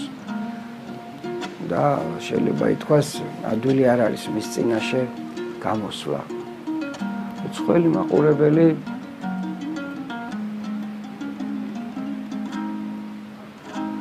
ვიზუალურად შეიძლება ითქვას, სანახაობრივი თვალსაზრისით უფრო ხედავს ამას ყველაფერს, რა თქმა უნდა, ყურით აღიქვავს და რა თქმა უნდა, ისთვის ეს ყველაფერი მოსაწონია, მაგრამ მე ვიტყოდი, რომ ჩვენთვის უფრო მეტი პასუხისგებლობა ქართველი მაყურებლის წინაშე გვაკისრია და უფრო ღელავთ და უფრო ნერვულობთ, როდესაც ვცეკვავთ თუნდაც ფილარმონიაში ვიდრე დაუშვათ იტალიაში თუ საფრანგეთში. მაგრამ ერთი ვიცი რომ ჭეშმარიტი ხელოვანი და ჭეშმარიტი მსახიობ მოცეკვავისთვის სულ ერთია ის თბილისში ცეკვავს, იტალიაში ცეკვავს თუ საფრანგეთში ცეკვავს. საკმარისი ეს კულის გასცეს და სცენაზე ფეხი დაადგას, მას უკვე აუწყდება ყველაფერი და მუსიკის თანხლებით თავის აკეთებს აკეთებს ცეკვავს ასრულებს და რა თქმა უნდა თუ ამ ყველაფერს იმ დონეზე შეასრულებს რომ მაყურებლებამდე მიიტანს და ტაშ დაუკრავს და აკრევინებს მაყურებელს ეს უკვე კულმინაცია და სიხარულია და ბედნიერება თვითონ მსახიობ მოცეკვავის. როგორ ფიქრობთ, რაღაც ეტაპზე ცეკვაში მიმბაძველობა კარგია თუ ცუდი? შეიძლება ითქვას. კი, შეიძლება. ცეკვაში. კონკრეტულად აი კონკრეტულად ცეკვაში, ტრიუკში, მაგალითად, ტრუკი ისეთი რამეა, რომ სწორად უნდა გააკეთო და თითქმის იმის გადასხვანაირება და სხვანაირად შენებურად მოხდენა და მორგება შეუძლებელია, ხო? მაგრამ აი თუ ილეძია საუბარი ან კონკრეტულად რომელამ თის ცეკვებზია საუბარი დაუშვათ ან მოძრაობაზეა საუბარი, შეიძლება თავიდან რა თქმა უნდა მიბაძო პედაგოგს და აუცილებელიც არის, მაგრამ შეიძლება შემდგომ მოსავლისგანაც კი ისწავლო, ასე ვთქვათ, რომელმაც ისწავლა შენგან და შემდგომ თავისებურად და განსხვავებულად გააკეთა. ანუ კითხვის არს თუ სწორად ჩავწვდი, კარგია რა თქმა უნდა და შეიძლება კიდევაც. მაგრამ მე მაინც ვფიქრობ, რომ აუცილებლად თუ ხარ ღმერთისგან იმ დონეზე დაჯილდოებული და შეგიძლია აუცილებლად უნდა გაცდე მე იმ მიბაძულს. აუცილებლად უნდა განავითარო შენი თავი და აუცილებლად წინვა წახვიდე უფრო მეცაც გეტყვი რომ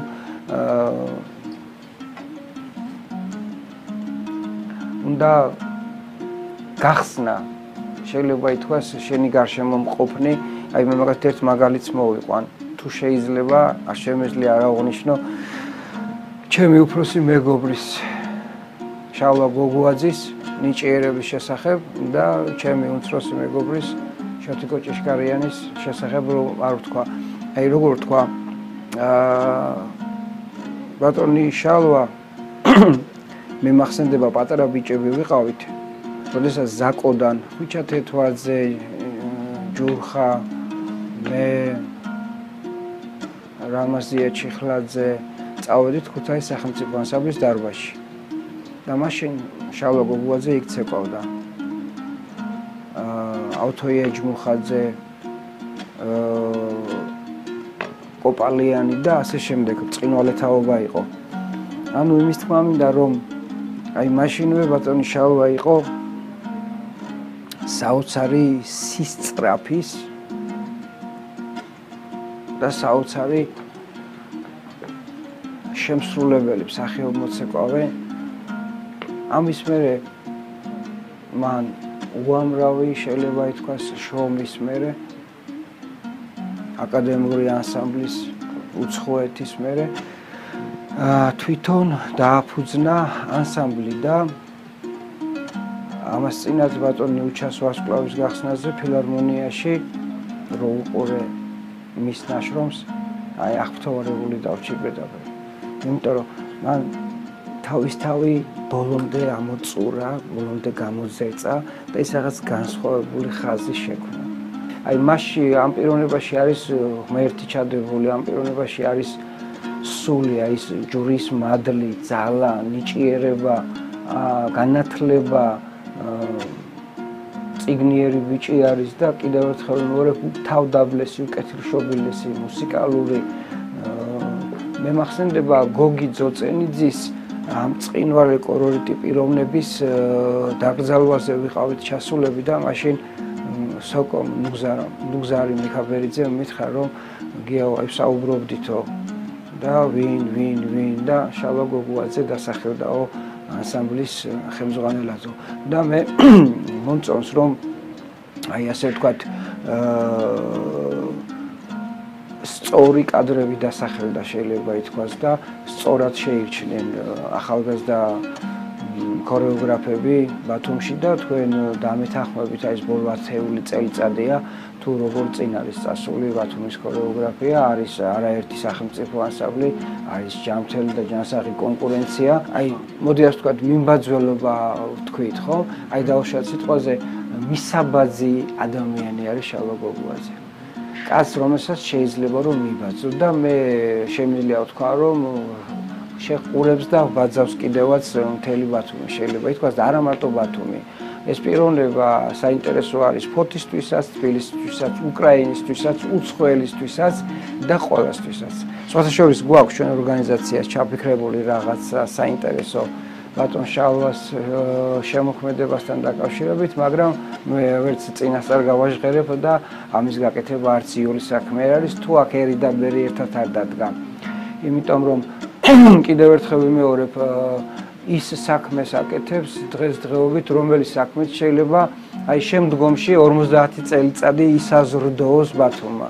აი დავშათ ვთქვათ ბატონმა რეზო ჭოხნელიძემ, ბატონმა იურ გოგოლაურმა, ბატონმა ყუასელმა, ანუ ანსალ ერისიონმა ყველამ ერთად გააკეთეს ერთი უდიდესი და უზარმაზარი, უკეთილშობილესი ეროვნული საქმე, პროგრამა გამოსცეს ოქროს დისკი და შეიძლება ითქვას თელმ სოფლიოს მოაწონეს ჩვენი ქართლობა, ჩვენი სული, ჩვენი სამოსელი, ჩვენი მუსიკა, ჩვენი ისტორია და ჩვენი ქართული ხალხური ცეკვა.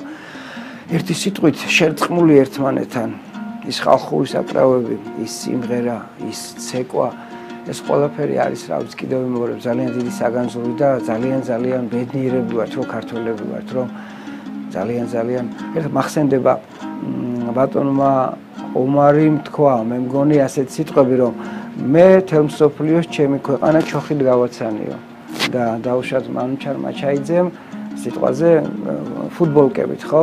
ანუ რისხმა მინდა რომ კარგი კაცი იყავი და სადაც გინდა იქილოცე რა, გინდა ჩოხა გეცვას, გინდა ფუტბოლკები, გინდა კიმანო გეცვას, გინდა ზვია და ურივით გაუჩეს, ესე თითი გაიშვირე და ერთი მაგარი კისრულით ოლიმპიური ჩემპიონი გახდი რა.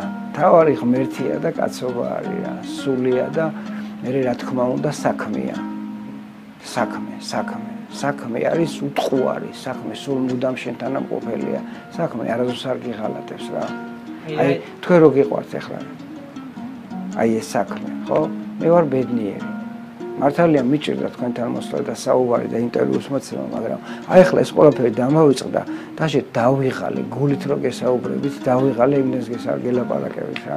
რა ეტაპზეა დღეს ქართული ქორეოგრაფია? წინვალე და აი არაჩვეულებრივი შეიძლება ითქვას პერიოდს გადის საქართველოს ქორეოგრაფია. არჩევდება რაც თავარია, ვითარდება ამა თუ იმ სახელმწიფო თუ ბავშთა ანსამბლების წყალობით არიან კიდევ ერთხელ ვიმეორებ რომ აი როგორ თქვა არ ვიცი შედევრებს დგავენს და მე იმედი მაქვს კიდევ აგერ ისეთი ახალგაზრდობა მოდიხართ რომ კიდევ უფრო უკეთესი და კიდევ უფრო უკეთესი იქნება. თავარია ის ზოგადად საერთო ფონი ქვეყანაში და მდგომარეობა გამოსწორდეს და გამოკეთდეს. თორე ძალიან კარგი ეტაპზეა გონი ასე მკითხეთ ხო? და კიდევ უფრო უკეთესი ეტაპი დადგება შეიძლება ითქვას.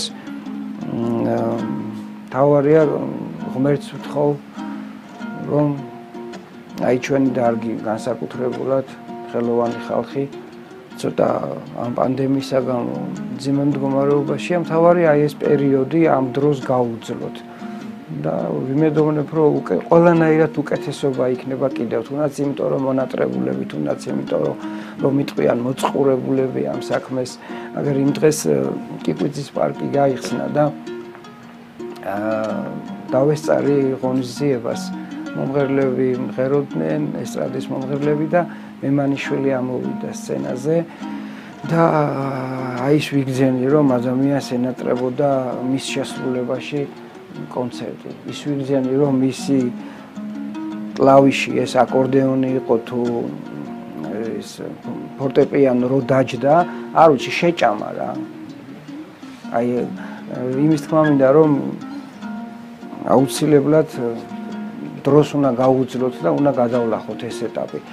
აგერ დღეს თქვენ მითხარით, იმ დღეს Facebook-ზე ვიხილე რომ დაიწყეს რეპეტიციები სახელმწიფო ანსამბლებმა და ვიმედოვნებ რომ სექტემბერში ყველაფერი უკეთესად იქნება.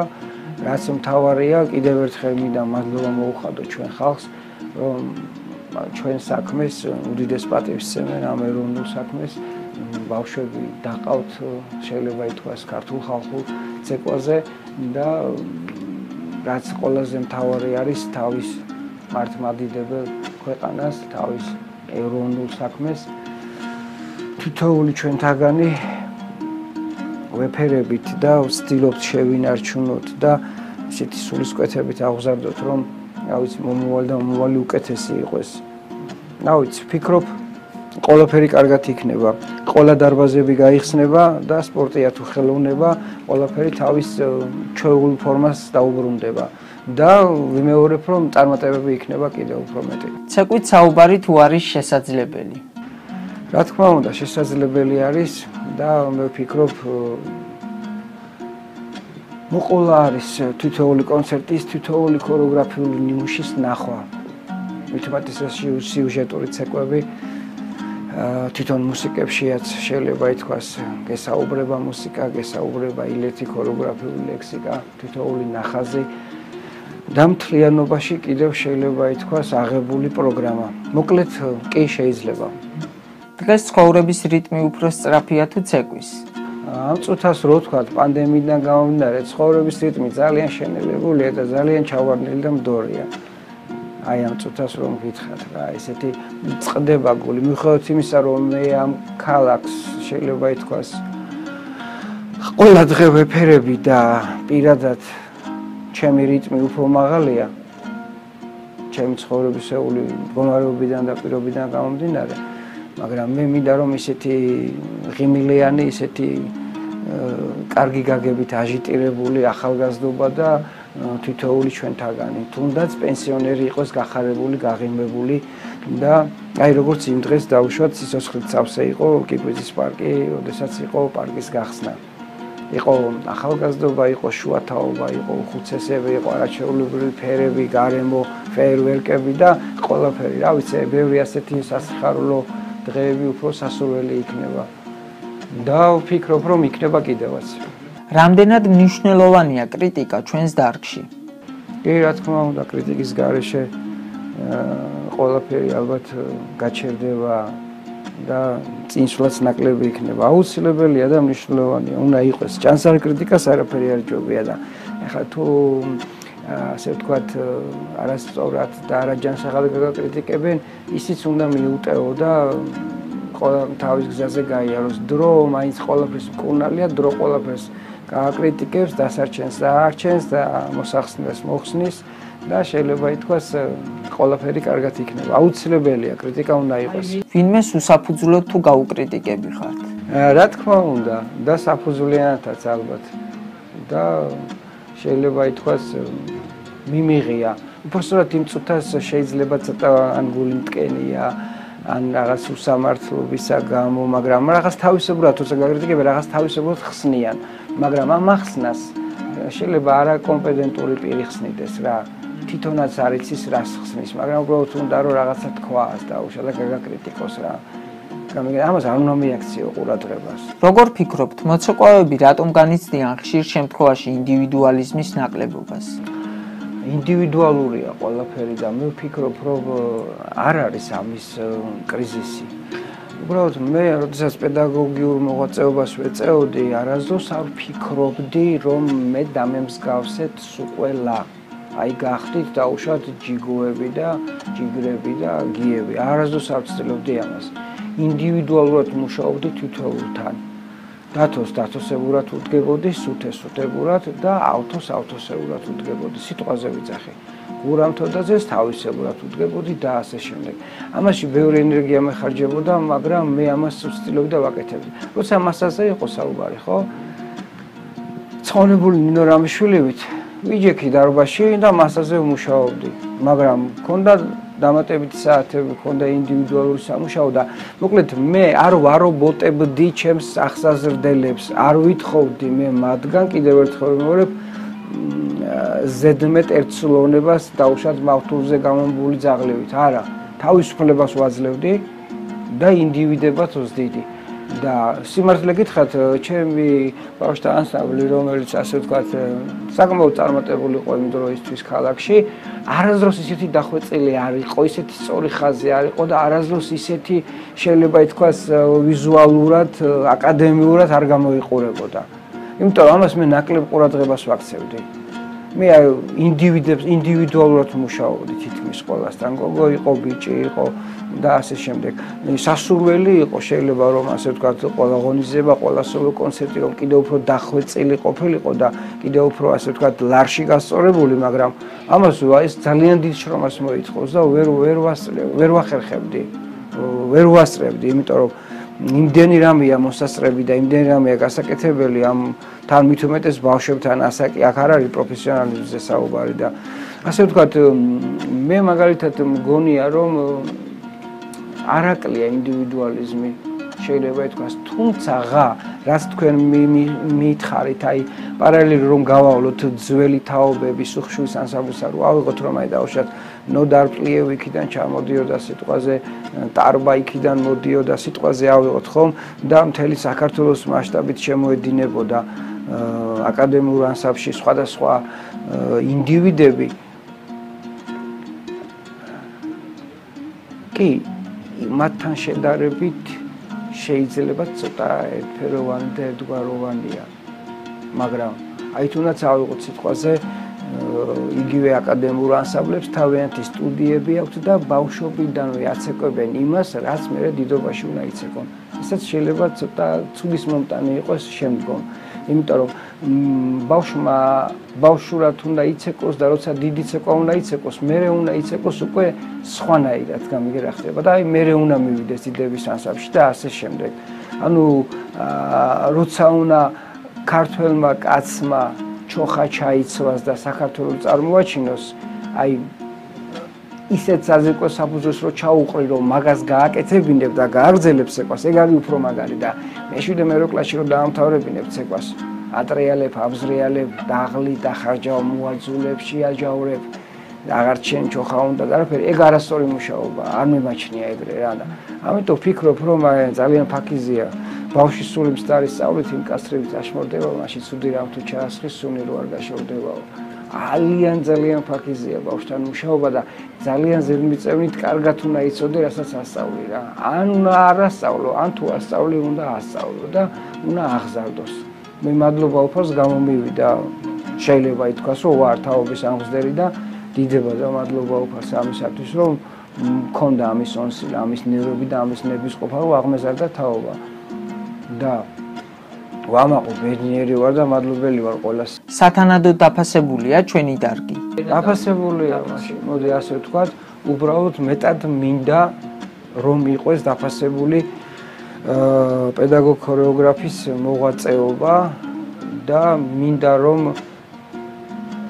აა ასე ვთქვა გავერთიანდეთ, ერთად დავდგეთ და ერთმანეთის გვერდში დგომით, რაც ცოტა არ იყოს, შეიძლება ითქვას, გვაკლია.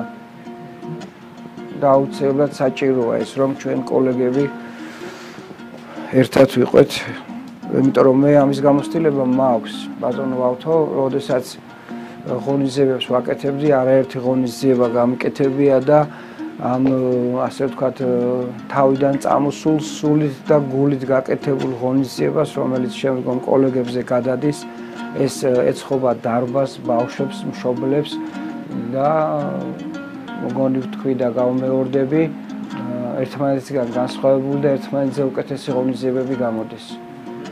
და ამის უკან დგას შრომა, დრო, ენერგიის ხარჯვა, სიცოცხლე დგას ამის უკან. მომავალი თაობა უკეთესი აღიზრდება. მახსენდება რეზო ჭოხონელიძის სიტყვები ეს ესეთი ფესტივალია, რომელიც ყოველ სიცოცხლესო, რომელსაც უწმინდეს და უნეტარეს ლოცვა კურთხევა. აუცილებლად მოვა დრო, მოვა თაობები, რომლებიც შეძლებენ უფროსი თაობის მიხედვას შუა თაობით შეიძლება ითქვას გაუძღვებით და მომავალ თაობასაც მაგალითს მივცემთ თუ როგორ უნდა იყოს ასე ვთქვათ ამ დარგში თითოეული ღირსეული ადამიანის დაფასება. მე აი თუნდაც თქვენი დავიწყებდი. ეხლა მე ვნახე ბატონი ომარის, ბატონი ზაურის, ბატონი გივის, ბატონი ჯიმის, ბატონი მგონი გია ფილიშვილის, ირაკლის აი ინტერვიუები და გუშინაც საუბრობდით, რომ ეს ყველაფერი აი უანგაროა, ხო? მაგრამ არის ეს ყველაფერი ამავდროულად ბედნიერების და სიხარულის მომგველი. მე თქვენ გითხარით დღეს რა ბედნიერი ვიყავი იმის მერე რაც ბატონმა დათომ კუსტვაზე მითხრა დღევანდელი დღის შესახებ, რაც ბატონმა ზაური მითხრა დღევანდელი დღის შესახებ და აი ეხლა თქვენ წარმოიდგინეთ დამოვიწყეთ ყველაფერი რაც კი 6 თვის განმავლობაში სიტყვაზე პრობლემა მქონდა დაგროვილი. რა არის თქვენთვის თავისუფლება? ო თავისუფლება ძნელად მისაღწევადი რამე არის და ყველაფერი არის შეიძლება ითქვას. მე გეტყვით ერთ რამეს. იყო თავის უფალი ეს უნდა დაიმსახურო. და თავისუფალი ხარ მაშინ, როდესაც ეკუთვნი ღმერთს და გზნობ შენ თავს. როდესაც აკეთებ შენ საყვარელ საქმეს, ნებისმიერ საქმეს, ოღონდ გულით და სულით. თავისუფალი ხარ მაშინ, როდესაც ამ ყველაფერს უფალს უზღვნი. თავისუფლება არის ყველაფერის, თავისუფლება არის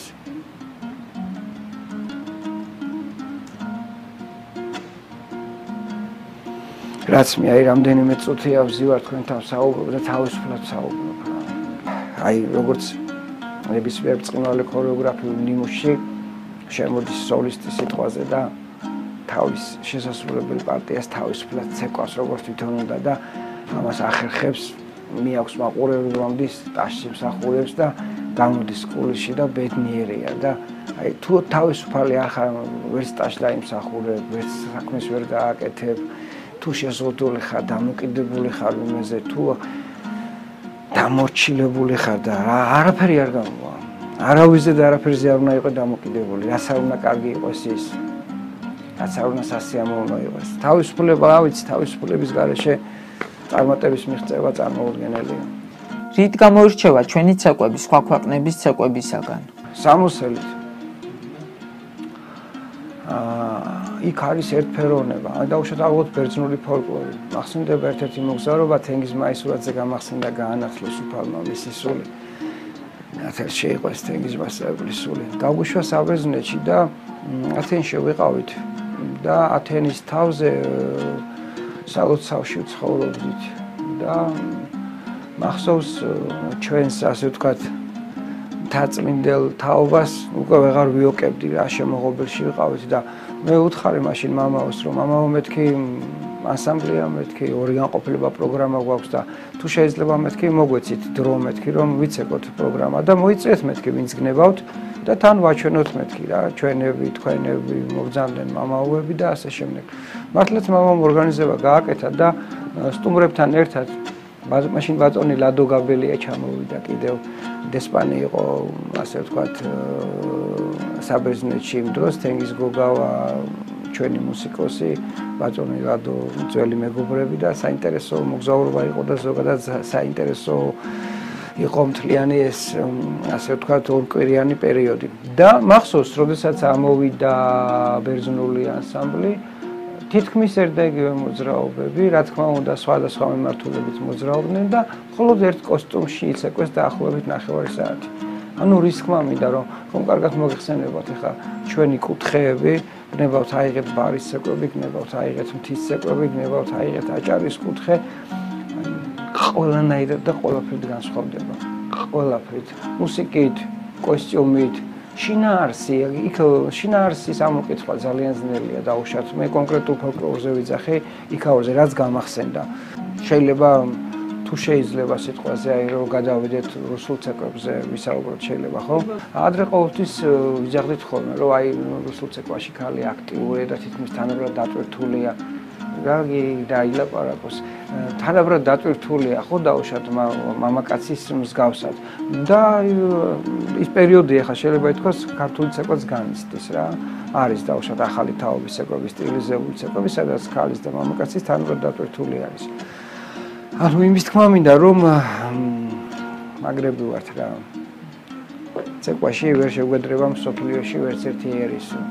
მიუხედავად იმისა, რომ უდიდეს პარტიის ცენტრი ჩვენ სიტყვაზე ის არგენტინელები არიან, ესპანელები არიან თუ სიტყვაზე არ ვიცი ვისი ფოლკლორია კიდე უფრო ну ეხა ნამდვილად ვერაფერს ვერ იტყვი რუსებს გააჩნიათ უკრაინელებს გააჩნიათ წინვალე ანსამბლები და მე მახსოვს ჩემი მასწავლებისგან ზაური მასწავლებისგან არაერთხელ უხსენიებია და საჩუქრებათ აქვს გადმოცემული მოისავის ანსამბლის DVD ალბომები თუ თქვენ გამოგადგებათ კაი გამახსენდა შეიძლება გამოიყენოთ მითხათ ბიბლიოთეკაშია.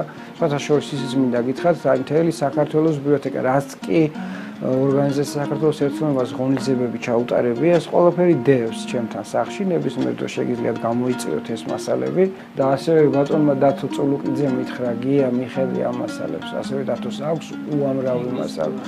თენგის ყურაშუს, მაგრამ თენგის ყურაშუა როგორც მითხრა, გაუფუჭდა ბევრი მასალა რა. მაგრამ ყოველ შემთხვევაში შეიძლება თენგისიც მოვინახულოთ. როგორ ფიქრობთ, რა როლი აკისრია ქართულ ცეკვას საზოგადოების ცხოვრებაში? მე ვიტყოდი, რომ უდიდესი როლი აკისრია და ალბათ ისეთ სიამოვნებას, ისეთ ბედნიერებას, ისეთ სიხარულს, ისეთ სიყვარულს თავისი ქვეყნის და სამშობლოს კუთხეებისა ვერაზროს ვერ აღიქავს, როგორც თუნდაც ერთი აკადემიური ასაფსროშვილების ყურების დროს ნაცფილარმონიის დარბაზში. ეს არის ქართული ხალხისთვის კიდევ ერთხელ ვიმეორებ, როგორ გითხრა, აი ჩადებული კოდი, რომ ქართული ქართული სიმღერის და ქართული ცეკვის garaშე რა ვიცი, რაღაც ვერი ქართულებს ასე მგონია რა. ყველაფერია ქართული ცეკვა და ძალიან დიდი როლი აკისრია ქართული კაცის ცხოვრებაში. ყოველთვის ასე იყო. მოდი აი ესე მოკლედ რო გითხრათ, ხინით მოვდივართ, ხინით მივდივართ, სიმღერით მოვდივართ, სიმღერით მივდივართ და რაღაც საოცარი ხალხი ვართ და აი ესეთი საოცრების ზუსტად შექმნილი საოცარი ხალხის შექმნილი კულტურა და ქორეოგრაფია არის. ეს ხო ხალხმა შექმნა. და მე ვფიქრობ ხალხს ეკუთვნის ეს ყველაფერი და ძალიან დიდი როლი აკისრია ხალხის ცხოვრებაში და საზოგადოების ცხოვრებაში. აუცილებლად ეს დარგი როგორც არის ფეხზე დამდგარი ასე უნდა იყოს და კიდევ უფრო უნდა განვითარდეს და წინა წავიდეს და მეტი ყურადღება. მე ვიტყოდი რომ არაკლია ყურადღება სახელმწიფოს მხრიდან რა გინდა ახლა? სუხშულის ანსამბლია ერისიონია რუსთავია ბათუმში სამი სახელმწიფო ანსამბლია ქუთაისშია კახეთშია. თითქმის უმრავლესობა მუნიციპალიტეტების სახელმწიფო ანსამბლები არის და ფინანსდებიან. ახლა ყველა ბავშვთან სასწავლო დაგიფინანსებს არა სად არის ამდენი საშუალება? ჩვენ უნდა დავდგეთ ერთად საქართველოს ქორეოგრაფია. მე ვიყავი ბატონ რეზოსთან, ბატონ კახასთან ოფისში მისული, მისული ამასინა და ვესაუბრე. და ძალიან გაუხარდათ ჩემი მისვლა, მოსმენა, შევთანხმდით შეხვედრებზე და ასე შემდეგ. ანუ რის თქმა მინდა რომ ჩვენ, ჩვენ, ჩვენ პედაგოგ ქორეოგრაფერმა მეტი ერთობა, მეტი ერთსულოვნება მეტი საერთო და მეტი შეთანხმებული და ორგანიზებული ღონისძიებები და სწორად გათვლები და რა თქმა უნდა ერთჯერადად აუცილებლად გჭირდება მთავრობის თანადგომა, მერიის თანადგომა და კიდევ ერთხელ მადლობას ვუხდი ქალაქის მერიას, კულტურის სამინისტროს, თორე სხვანაირად ბატონ იური გოგოლაურის ხსოვნის საღამო არ ჩატარდებოდა. სხვანაირად ჯემალ ნაროდაშვილის ხსოვნის საღამო არ ჩატარდებოდა. კიდევ ერთხელ მეგობრებ, არც წმინდეს ლოცვა-კურთხევით ფესტივალი ერთსრულება დაფუძნდებოდა და ის საოცარი დღე რაც ლაგუნა ვერეზე შედგა არ მოხდებოდა. ну სამწუხაროდ ბოლოს ფინანსებთან მიდის საქმე და აი ამ ფინანსების კიდევ ერთხელ მეორებ გამთლიანებლები და თავის მომყრელები და ერთი ასე ვთქვათ საერთოს ასე ვთქვათ ხელში დამკავებლები ჩვენ ჩვენ თვითონაც უნდა ვიყოთ რა. ეხა ყოველთვის მერიას ვერ ეტყვი და მეხმარეო, ყოველთვის კულტურის ამისას ვერ ეტყვი და მეხმარეო. ასე არ შეიძლება. ამიტომ ჩვენ შეგვიძლია. აი ძალიან მარტივად რო გითხრათ, შეიძლება ეს არც ჩაწეროთ, არც დაამონტაჟოთ, მაგრამ მე უბრალოდ ვიტყვი რომ 2010 წელს რეზომასწავლებთან ერთად ვიყავი კანდიდატი თავმჯდომარის და მაშინ მე მთელი პროექტი წარუდგინე ასე ვთქვათ ყრილობას და მაშინ უთხარი 0.93 თეთრი აუგუსტზე გვექნება 2 მილიონიანი ბიუჯეტი ყოველწლიურად და მოდით ხალხო მართოთ ახლა ეს საქმე. და როდის ავთოს და დათოს როდის ჯემალის როდის კიდევ ერთხელ მეორე შეიძლება ნაუზაშვილზე მოითხოვა ხსოვნის საღამოზე დაფინანსება მაგრამ აი ჩემს საიუბილეო საღამოს გაკეთება რო გინდა იქ არ მოგცემს არავინ დაფინანსებას, ამიტომ შენ ჯიბიდან უნდა მოიღო და შენი საერთოდან უნდა მოიღო და იმ ადამიანს უნდა აქ რომ მეხსიერების ნაკლებობაზეა საუბარი, ან უკეთესი აპარატურა შეიძლება რომ კონდეს ხო ავთოს და დათოს. ამაზე ვისაუბროთ და მივიღოთ გადაწყვეტილება, გადავრიცხოთ და ეკნება მორჩა გაცავდა. უდიდეს საქმეს აკეთებს რა. ჩოხა უბრალოდ 60-ია თუ უფრო მეტი. დიდი მადლობა რომ შენ ისევ და ისევ გამახსენე ადამიანი რომელიც იყო სამოსის შემქმნელი შეიძლება ითქვას, არ ვიცი, ეს ყველაფერია კიდევ ერთხელ ვიმბოლე. მე მსგავსი სამოსი დედამიწის ზურგზე არ მგონია თუ მithumetes ადამიანს უხდება. ეს არის ნომერ პირველი 60 თემ სოფლიოში. ამას ვერც ერთი შავრო კოსტუმი ვერ შეედრება, ვერც ერთი თეთრი საროჭკა და ვერც ერთი ბაბოჩკა სიტყვაზე ამას. ამას ეს არის ყველაფერი ჩემთვის მე მინდა ბატონ არსენს უღმესი მადლობა იმ სამუდამო ქვეყანაში მოახსენო მინდა მადლობა უთხრა ქალბატონ ნელის იმისთვის რომ მახსენდება მივედი და ვთხოვე. მე საერთოდ გვიან ვიღებ გადაწყვეტილებებს, ძალიან მიჭის რაიმეზე თანხმობის თქმა, მაგრამ თუ თქვი და ეს მე ვიქოქები რა, როგორც დღეს და როგორც ყოველთვის და მე გულით საუბრობ თუ ვაკეთებ და ასე შემდეგ და როგორც იქნა მივედი ძიარსენთან. და ვთხოვე მეთქი ჩოხა უნდა შემიკერო და ძიარსენ უკვე შეუძლოთ იყო. ფაქტიურად იწვა და წამოდგა ფერზე ვერ შეძლო. მე დამსვა. მე შემდგომ თვითონ დაждდა და მე მუხლებზე დავუდექი. არ დავждდები ახლა მუხლებზე შეიძლება იღებს და შეიძლება რამე საჭირო ჩათვალოს და აი ესე ვიჩოჩიალე მუხლებზე. ხარი იყო, კლავი იყო, წელი იყო, ზურგი იყო და ვარ უბედნიერესი კაცი. მე მახსოვს პატარა ბავშვი ვიყავი სადღაც მე-7-8 კლასში, როდესაც ვაჟაბაშიძე ვაკეში იყო სამკერვალო, სადაც ზიარსერი პირველად ვნახე, გავიცანი და პირველად ჩემტანზე შავი ჩოხა შეკერა და აი თამამად შემიძლია ვთქვა რომ ეს ძია არსენის ერთ-ერთი ბოლო გამოჭრილი ჩოხა არის რომელიცაც მე პატივი დამდო და შემიკერა ეს ჩოხა. წუხარ რომ დღესდღეობით დაწყებული აკადემიური ასამბლეებიდან თელ საქართველოში უამრავ ჩოხას ძინავს ავთანდილი უამრავ მანდილს ძინავს კარდირობში და ეს ყველაფერი არის გამოსამზიურებელი და გამოსატანი შეიძლება ითქვას. სცენაზე და უშუალოდ თითოეული ჩვენთაგანის სხეულზე და ასე შემდეგ. რა ვიცი როგორ ვთქვა, მე ყველა სამოს უდიდეს პატივს ვცემ, მაგრამ გითხარით რომ ჩემთვის ეს არის ნომერ პირველი სამოსელი. ჩოხა არის ჩემთვის ყველაფერი. რაც არ უნდა, როგორც არ უნდა გამიგოთ უდიდეს პატივს ემე სპორტულ ჩაცმულობას, იმიტომ რომ მეყვარს სპორტი და ხშირად სპორტული გამოვიყურებ. გამოსასვლელი ნებისმიერი სხვა ტანსაცმელი თქვა, მაგრამ მაინც ამ ფორმაში რო ვარ ბედნიერი და რომ მიხარია ჩემი თავი და ის დღე და ის წუთები, ისე არანაირად რა. რა აზრის ხართ ჭარბად გახსნილ ცეკვის სტუდიებზე? შეიძლება ცეკვა იცოდე, მაგრამ რასაც პედაგოგიკა ქვია, რასაც გადაცემის უნარი ქვია, რასაც ბავშვის აღზრდა ქვია, რასაც პიროვნების და მოქალაქის ჩამოყალიბება ქვია ვისგანაც შეიძლება რომ მე შენ მე სწორედ ცეკვა მოითხო ჩოხა ჩააცო და სოფლიოს ტაში დააკვირინო ეს არ არის ადვილი საქმე. ამიტომ ახლა ჭარბი სტუდიები და ჭარბი ქორეოგრაფები და ახლა ილიკოს თქმის არ იყოს სოფლიოში სულ 20 ქორეოგრაფია და თბილისში კიდევ 200 ეგრე არ არის რა. არ შეიძლება არ შეიძლება ეს ასე რომ აბსოლუტურად გეთანხმები. მიუხედავად იმისა რომ მისაბაძია ძალიან კარგია სიტყვაზე როგორ ვთქვა უსაქმურობას დასაქმებული და შრომაში ჩაბმული და შრომის მოყარი ადამიანები და მოქალაქეები ყავდნენ მომავალში ჯობია ვიდრე უსაქმურები და ურწმუნოები და ასე თქვა და მაგრამ ყოველ შემთხვევაში ახლა ას დამახინჯებული თაობა არ მინდა რომ ჩვენ დარგში იყოს დაუშვათ რა და მიგე და არა მარტო ჩვენ დარგში. ნებისმიერ დარგში. მე პურენ პური უნდა აცხოს მოდი ასე ვთქვა რა. ბავშვებთან მუშაობის პროცესში რა გაძლევთ ყველაზე დიდ სტიმულს? ჩემი ელებო პირველ რიგში მოდი ასე თქვა მუსიკა. ჩემი გია გურგანიშვილი შოთა სამუშია ჩემი გივი მას ჩემი მასწავლებლები ჩემი მეგობრები ჩემი მშობლები არაჩვეულებრივი პიროვნებები ამ მშობლებში ერთმანეთზე უკეთესები რავი ჩემი სამშობლოს სიყვარული ჩემი ოჯახის სიყვარული მაძლევდა ჩემი შვილების ჩემი მეუღლის იმ პერიოდში ესე იგი ნაურზაშვილს აქვს ეს სიტყვები ნათქვამი.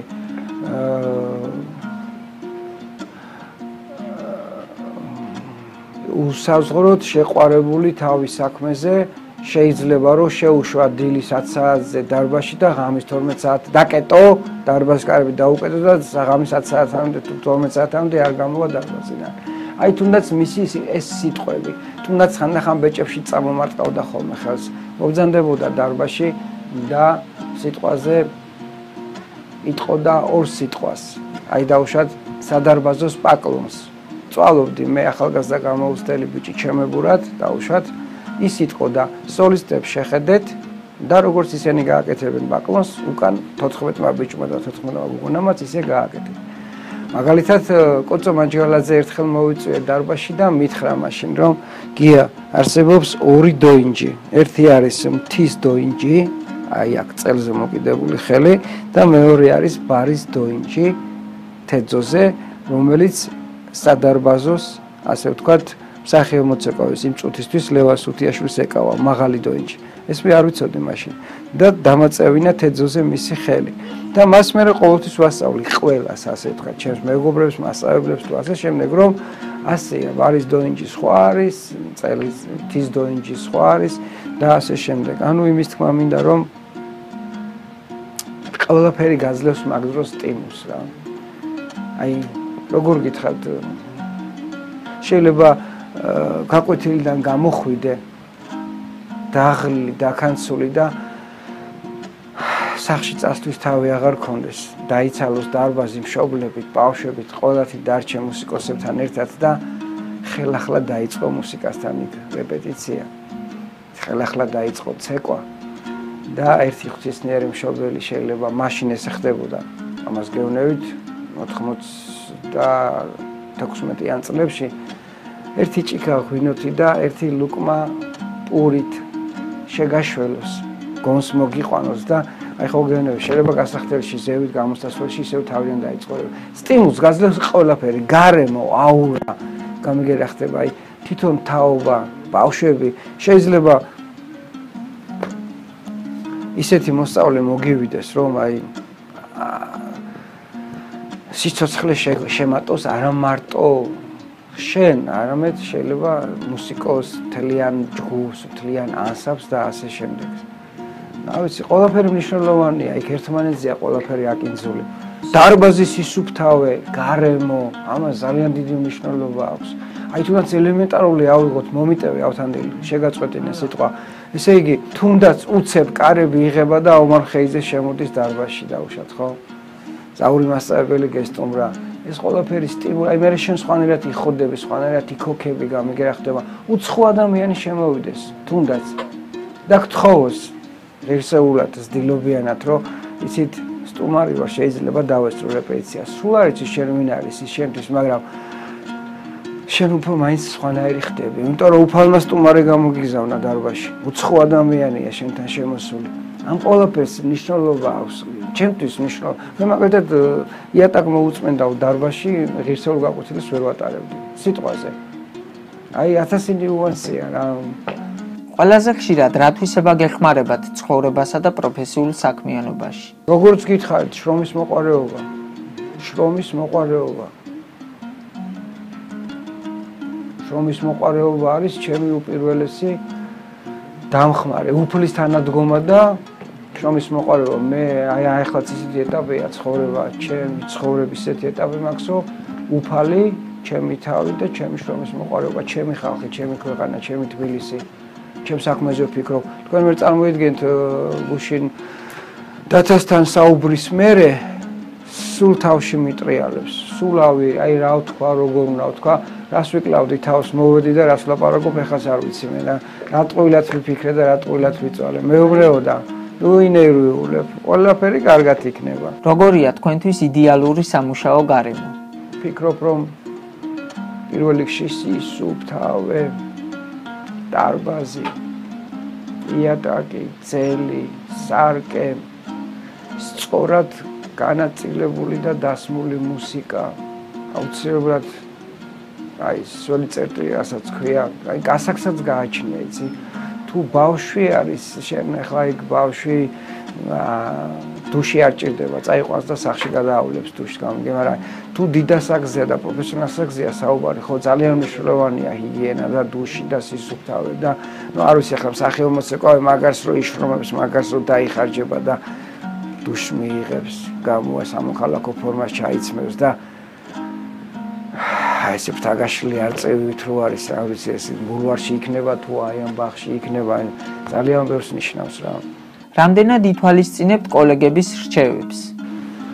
რა თქმა უნდა გითხარით და გვიმეორებ რომ ვითვალისწინებ და ყოველთვის გავითვალისწინებ. თუმცა ერთ რამეს გეტყვით ჩემს ნაკს არ ვიცი ნაკლია თუ არა. საბოლოო ჟამს ვიღებ სწორ გადაწყვეტილებებს. აი დავშათ ლევანს უთქვი ამა თუ იმ კონკრეტულ თემასთან დაკავშირებით. კი ამას საოცარი ჩვევა გაქვს. თითქოს გვისმენ, კი ბატონო. მაგრამ ბოლოს იღებ გადაწყვეტილებას თანაც ისეც რომ აი უტყუარს და წყალი რო არ გაუვა და შეიძლება ითქვას რომ მაქვს ეგ ჩვევა ვითვალისწინებ უსმენ ვიღებ მაგრამ ბოლოს მაინც უფალი რომ კარნახობს და ჩემი თავი რომ კარნახობს უფალზე მეტად და ჩემ თავზე მეტად ვერ ვენდობი ვერავის მოდი მაშინ ესე ვიტყვია. ხშირად კარგი მოცოყავე კარგი ქორეოგრაფი გქონიათ როგორ განსაზღვრავთ მათ როლებს? კარგი მოცოყავე კარგი ქორეოგრაფი გქონიათ მართლა გქონიათ შეიძლება. იშვიათია ეგეთი. დაშე ცოტა ძნელ წარმოსადგენია მე არ მინდა ხა ვიმე სახელი და გვარი დავასახელო, მაგრამ როგორც ქორეოგრაფი დიდი ვიცი, როგორც მოცეკვავე ცოტა მსმენია მასზე. მე ვიცი სიტყვაზე მაგარი მოცეკვავე, მაგრამ ნაკლები ქორეოგრაფი. ისევე როგორც სიტყვაზე ნაკლები ფეხბურთელი ყანო და ახალგაზრდა, მაგრამ როგორც მწვრთნელი საქართველოს გაგვახარა და განუმეორებელი და დაუვიწყარი დღე გვაჩუქეს ბიჭებმა, ხო? ანუ რის თქმა მინდა ორივე ერთად შერწყმული თუ არის დიდება და მადლობა უფალს. ძალიან იშვიათია მეთქი და ძალიან ძნელია. და თუ არის მაინც ანიკ როგორც ქორეოგრაფი მეტია და როგორც სახეობმოცეკავე ნაკლები და ასე შემდეგ. აი დავუშვათ ავიღოთ. უნიჭერესი ახალგაზრდა ბიჭი დადის ამ ბაღში. მუსიკალური. დავანებოთ სიტყვაზე სხვა ყველაფერს და არჩენს თავი, მაგრამ როგორც მოცეკავე ნაკლებად განვითარდა. გამიგე? მე მქონდა მასთან შეხება 10 წელია მეგობრო მასთან. და ბედნიერი ვარ. მიხარია, ჭკვიანი, ჭიერი ბიჭი, მუსიკალური, ცეკვა უყვარს ყველაფერი. უნდა იცეკო ძმა. შენ რომ სიტყვაზე დარბაში 10 კონცერტი რო იცეკო, ჯობია. ატო ეს დარბაში 10 რეპეტიცია, ჯობია ერთი კონცერტი იცეკო სცენაზე. და როცა სუხშვის აზაფში ცეკვა და 70 კონცერტი გაქვს. ესე იგი 70 ჯერ 10 რამდენია? 700 რეპეტიციას უდრის ის 70 კონცერტი. რადგან სხვა ვინმე ხარ, როდესაც შენ მაყურებლის წინაშე გადიხარ, როდესაც შენ პრაქტიკაზე. ანუ იმის თქმა მინდა რომ შეიძლება იყო მაგარი მოცეკვავე, მაგრამ ვერ იყო მაგარი ქორეოგრაფი. არ არის ეს გამორიცხული. და შეიძლება იყო ნაკლები დონის მსახიობ მოცეკვავე, მაგრამ როგორც ქორეოგრაფი იყო დიდი და ბუმბერაზიც კი. ну აი თორემ რამდენად კარგად გაგეცით პასუხი, მაგრამ ყოველ შემთხვევაში მე მაგალითად როგორც სახეო მოცეკვავე ვეღარ განვითარდი, როგორც პედაგოგ ქორეოგრაფი უფრო განვითარდი. აა გააჩნია რა. რა არის თქვენთვის სამშობლო? ო ყველაფერია. აი ეს არის ჩემთვის სამშობლო, რომელიც უთყურად ჩემ ფეხებ გულებ ქვეშ დგას და არასდროს ჩემთვის არ უღალატიას. არ ვიცი მოუიარებ სოფლიო, ნახევარი რუსეთი, მთელი საქართველო, აი და არ გამოვსადე რა არ ნახე ამ ცხოვრებაში. როგორ არ დავიხარჯე და კიდევაც დავიხარჯები ადამიანების მithumetes მომავალი თაობის ბავშვების გულისთვის. ხო და ტკივილის ბევრი მიმიღია და ყველაფერი, მაგრამ მიწაწყალი ყველაფერია. ერთია, ერთადერთია. ერთია ქვეყანაზე. დღესდღეობით ბევრ საუბრობენ ზოგადად ხელოვნებაში არსებულ შემოქმედებითობის კრიზისზე. როგორ ფიქრობთ, ქორეოგრაფიაშიც კრიზისია? არა, არა მგონი, არანაირი ასე ვთქვათ, კრიზისი არ იგრძნობა. უბრალოდ მინდა ვთქვა, რომ აი თქვენ და თქვენისთან ადამიანები უფრო მეტად აჩენენ შეიძლება ითქვას ამ შემოქმედობითობას ბათუმში იქნება სიტყვაზე ქუთაისი იქნება წეგან დავიწყე მშოთიკოზე საუბარი და ამასილად მომიწია კიდევ ვიდეო მასალით ნახვა. ბატონი ნოდარ ბასილაშვილი იწონებდა იმერულს და ანუ რის თქმა მინდა რომ ეს ესეთი რამეა ხალხო რომ აი ადვილიც არ არის იცი? ყოველ წუთს და ყოველ წამს გასაკეთებელი საქმე არ არის. შემოქმედება დროს მოითხოვს ამას უნდა დრო. თუნდაც ერთი კონკრეტული ქორეოგრაფიული ნიმუშის შექმნას სერიოზული დრო ჭირდება. ამას ჭირდება კიდევ ერთხელ რომ დაწყებული იდეა, ლიბრეტოა, მუსიკა, კოსტიუმია, მოძრაობები, აი ეს ქორეოგრაფიული ლექსიკა, აი არ ვიცი და ახსენდება თენგიზის სიტყვები ხალხო რომ აი ეს ერთი ქორეოგრაფიული ნიმუში რომ დაიხოვეწოს და ხალხის მოსაწონი გახდეს და ხალხში დარჩეს და უშად ისე როგორც სიტყვაზე ცეკვა რაჭულმა მოიკიდა ფეხი ბოლო 10 2000 წელიწადი მოდი ასე თქვა თუნდაც და მიიღო მაყურებელმა რომ დაიხვეწოს ის ერთი ქოროფნიში ამ ყოლაფრის მერე და შემოქმედება წარმოჩინეთ მინიმუმ 20 კონცერტი უნდა იციყო და თანაც განა ეს ბავშვების დონეზე. ბავშვების შემოქმედების გაკეთება ძნელია ხო? პროფესიონალს აქვს გულისხმობა ანუ იმის თქმა მინდა რომ აი პროფესიონალებმა თქვენ ხელა ახალგაზრდა ვაჟკაცმა ბიჭებმა და გოგონებმა რომ შექმნათ ერთი ქორეოგრაფიული ნიმუში ნებისმიერი დაუშვათ და ის დახვეწოთ და მაყურებლის მოსაწონი გახადოთ და სიტყვაზე დარჩეს ხალხში ამას უნდა სერიოზული დრო და ამის კრიზისი არ არის. იმიტომ არ არის, რომ ეხლა მე განვიხილავ როგორ ჭრილში ჩი საქართველოს, ჩემს სამშობლოს, ხო? ჩვენ ყველა ერთნი ვართ. ეხლა ხეს აქ მოჭრიან თუ ბათუმში ჩემთვის სულ ერთია, მაინც მეტყინება რა, იმიტომ ბათუმის მაგრად მიყვარს, შალვას თამადობით ყველა მაგრად მიყვარს, ქუთაისი სიტყვაზე ყველა მაგრად მიყვარს და თბილისიას და კახეთშიას და სადაც არ უნდა იყოს, ფოჩიაც, გიგლა თურქია იქნება ის თუ ალექსანდრია, რა მნიშვნელობა აქვს ჩემთვის, რომ ჩვენ ძმები ვართ, მეგობრები ვართ, ხო? ჩოხა გვაცია და ერთ საქმეს ვემსახურებით. ხო და აი კიდევ ვიმეორებ, არ მგონია რომ იყოს. პირიქით არის შემოქმედებითი წვა, ოღონდ ეს შემოქმედებითი წვა შეიძლება ოდესღაც დაიწყო ეს ასალ მამულში სიტყვაზე ვერე გაგძელდა ეს დაუშვათ ან ზაკოში დაიწყო და მამულში გაგძელდა შემდგომ სუხიშვილის დარბაზში რომ შემოქმედებითი წვა მიდიოდა და გონი ეხლას მინდის და არ ჩერდება ასე ვთქვათ დარბაზი.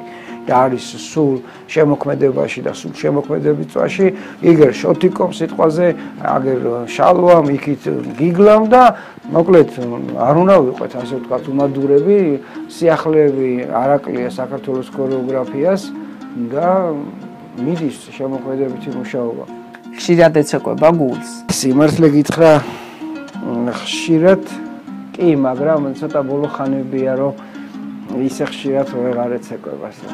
არის რამე რაც გადარდებთ რომ ვერ მოასწარით როგორც მოცოკვავემ.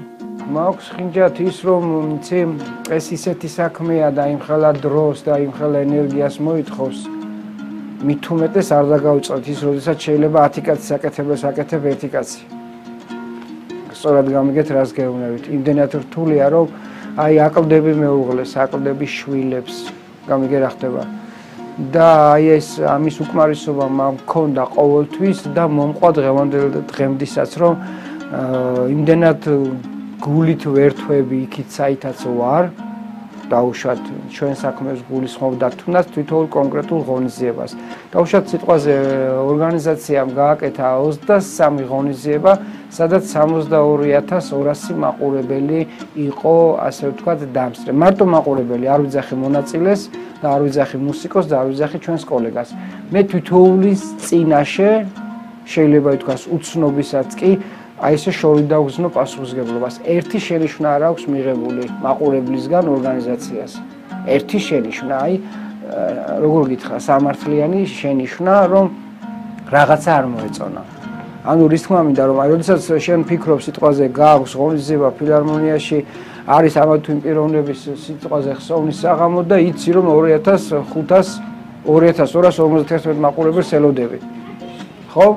ეს არის ძალიან დიდი ფსიქოლოგიური წნეხი და ძალიან ძნელი და ძალიან რთული. ასე რომ მე ვფიქრობ, რომ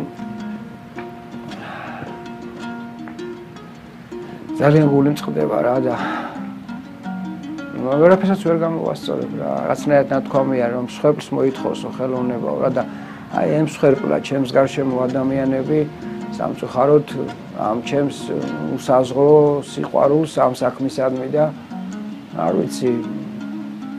რამდენად დამნაშავედ ვუცნობ თავს რა თქმა უნდა მაგრამ ყოველ შემთხვევაში უნდა მომიტეო მე ისევის ადამიანი ვარ უბრალოდ უნდა მიხვდნენ უნდა გამიგონ რთული ახელოვანი ადამიანს ჩაწვდე და გაუგო ბოლომდე ეხლა მე გულწრფელად გესაუბრებით და გეუბნებით რომ ანგელოზი არ ვარ ნახდათ თუნდაც აი ვძნობ რომ თქვენ წინაშე ვაშავებ იმიტომ რომ ბევრ საუბრობ.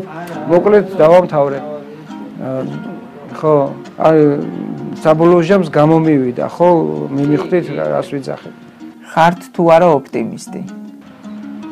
ვარ მოდი ასე ვიტყვი. ვარ ვიყო ოპტიმისტი აი აქამდე ვერ მოვიდოდი ვერანაირად. განსაზღვრავს თუ არა თქვენი საქმიანობა თქვენს პიროვნებას? განსაზღვრავს.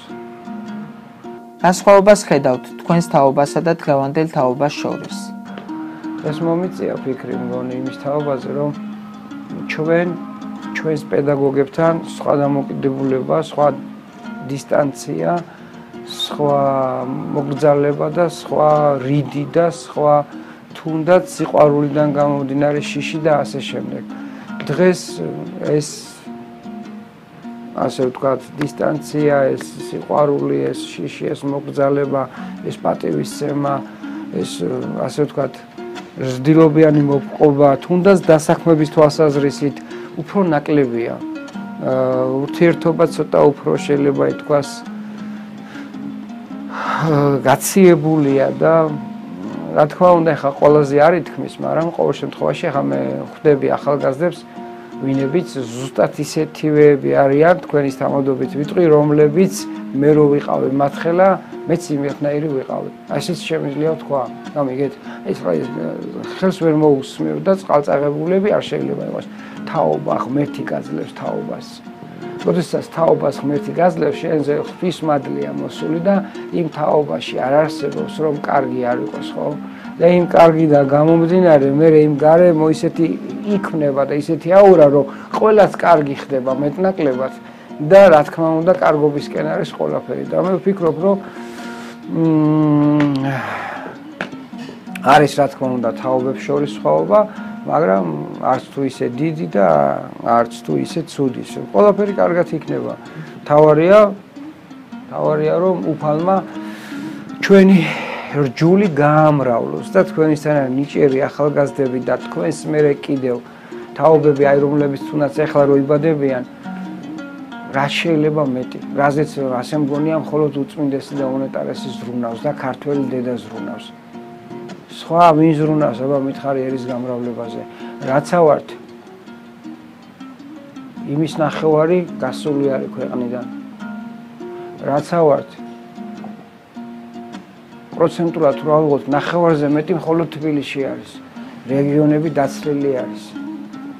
რა ჯობია იმ რეგიონში იმ ბალღის გაჩენასაც, გაკეთებასაც, აღზრდასაც, იმ სუფთა ჰაერზე, იმ მიწასთან ურთიერთობასაც, იმ დარბაში შესვლასაც, იმ ჭიდაობასაც და იმ ბოქსსაც და იმ ცეკვასაც, თო. მიხედოთ რა, რა მაგარი იქნება, ხო? და აი სამწუხაროდ, თავარი რომ თაობები მოხსეს ღმერთმა რა. რისი პატიება არ შეგიძლიათ? რამდენიმე დღის წინ წავაწყდი ყველაზე ახლობელი ადამიანისგან და გულემ ტკივა ასეთი რამე ფაქტი რომ დავაფიქსირე. ადამიანის ცუდი არ უნდა გაგიხარდეს, ბოროტე არ უნდა იყოს ადამიანი. როცა რაც არ უნდა ინტერესი გქონდეს, რომ შენ იმის ხარჯზე შენ კარგად იქნები, ვერაზოს კარგად ვერ იქნები, სიცოცხლეშივე ცუდად იქნები. ადამიანი ბოროტე არ უნდა იყოს. ცუდი არავისთვის არ უნდა მოინდომო. მე ყოველთვის კარგი მინდოდა.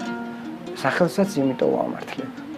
და არც მე უზნობ თავს სუდად მიხედავთ იმისა, შეიძლება მე ბედნიერებას ვიმსახურებდე და მე თუნდაც მატერიალურ კეთილდღეობას, მაგრამ შეუძლებელია ეს ყველაფერი ერთად მოგცეს ღმერთმა. არის ძლევა უფალი ყველაფერს ერთდროულად. გქონიათ თუ არა საქართველოს ფარგლებს გარეთ ცხოვრების სურვილი? მე ისეთი ტიპი ვარ, ხელი თუ არ ჩამკიდე ჩემ ქვეყანაშიაც დავიკარგები სად დარჩენის უფლება ის არ სული გამჩენია არ სად დარჩენის სული არ გამჩენია მე ისეთი ადამიანი ვარ თუ თვითფრინავიდან თბილისის აეროპორტს უახლოვდები როგორც კი მიწას დავინახავ თვალებით ცრემლით მევსება და ბედნიერი ვარ ჩემ სამშობლოს რო უბრუნდები მე ისეთი ადამიანი ვარ რომ მანქანი თავარ თუ მატარებლი თავარ როგორც კი ჩემ სამშობლოს ტერიტორიაზე შემოვდგავ ფეხს იმ წუთას ის ხვდები ვინც ვარ მე შეზღუდული ვარ უცხო ქვეყანაში. მიუხედავად იმისა, რომ სადაც ავყოფილა ყველგან კარგად დამხვედრიან ჯემალი დამეთანხმება, ეს ყოფილა ზღვისპირეთი, ეს ყოფილა უცხოეთი, სადაც არ უნდა ყოფილა ყველგან სიხარული ყოფილა, ყველგან ჩახუტება, სიყვარული, სახელი დაგვიტოვია და სახელით წამოსულ ვართ, მაგრამ აი მაინც კიდევ ერთხელ მეორე რა მე უამრავი შემოთავაზება მქონია. დღესაც მაქვს შემოთავაზება, რომ აი დაუშვათ წავიდე ჩემი ქვეყნიდან, მაგრამ ვერსად ისე ბიზნეს ვერ გზნობ თავს. მიუხედავად იმისა, რომ ჩემი პროფესიითაც ყოფილ ვარ, იქაც დარბაში ყოფილ, იქაც ბავშვთან ყოფილ ვარ. მაგრამ მაინც ვერ არა. ვერსად ვერ გზნობ თავს ბედნიერად. რაც არ უნდა ქონება და ცხოვრება დამპირდნენ. ჩემი ქონება და ჩემი ცხოვრება ჩემი მიწაწყალია. საქმე, რომელსაც მე ნახევარი საუკუნე ვემსახურე, ხშირ შემთხვევაში არის რომ რაღაც წარმატებას მიაღწევენ და ეს წარმატება ასე ვთქვათ ერთჯერადი აღმოჩნდება. აი სტაბილური წარმატების მიღწევისათვის რა არის საჭირო? შრომა, შრომა და შრომა, ლოცვა, ლოცვა და ლოცვა. სტაბილურობისთვის თვითონ სტაბილურობაა საჭირო. ჯანმრთელი უნდა იყოს აუცილებლად და აუცილებლად უნდა გაწერილი კონდეს წუთი და წამი. საქმე სადაც უნდა გააკეთო, იქ უნდა გააკეთო. გამიგე? საქმეს და დავალებას გააჩლია. გააჩლია. შეიძლება იყოს ისეთი დავალება, რომ აი ერთი წელი შრომაში იყო და მე იმ შრომის მერე ერთი თვე ჩავარდნა კონდეს, მოგინდეს დასვენება, გასვლა სიტყვაზე, დუშეთში სუფთა ჰაერზე ასვლა და გათიშვა ყველაფერსგან და მოწყვეტა. იმიტომ ეს იმხელა ონსილა, ეს იმხელა ოფსილა, ეს იმხელა ნერვებია, ეს იმხელა სტრესია, როდესაც შენ 2500 მაყურებელს ელოდები და ეს ყველაფერი კარგად ჩაივის, თუნდაც მაგ შემთხვევაში მაინც დაღლილი ხარ და დასვენება გინდა. ანუ მიაბა მეორე ღონისძიება მსგავსი რაღაცა სასაული არ გამოდის, წაიქცევი რა. ვერ შეძლებ. Ну აი გა ზოგჯერ როგორ ზოგჯერ როგორ გააჩნია სულ. რა არის სიკეთე? სიკეთე ყველაფერია.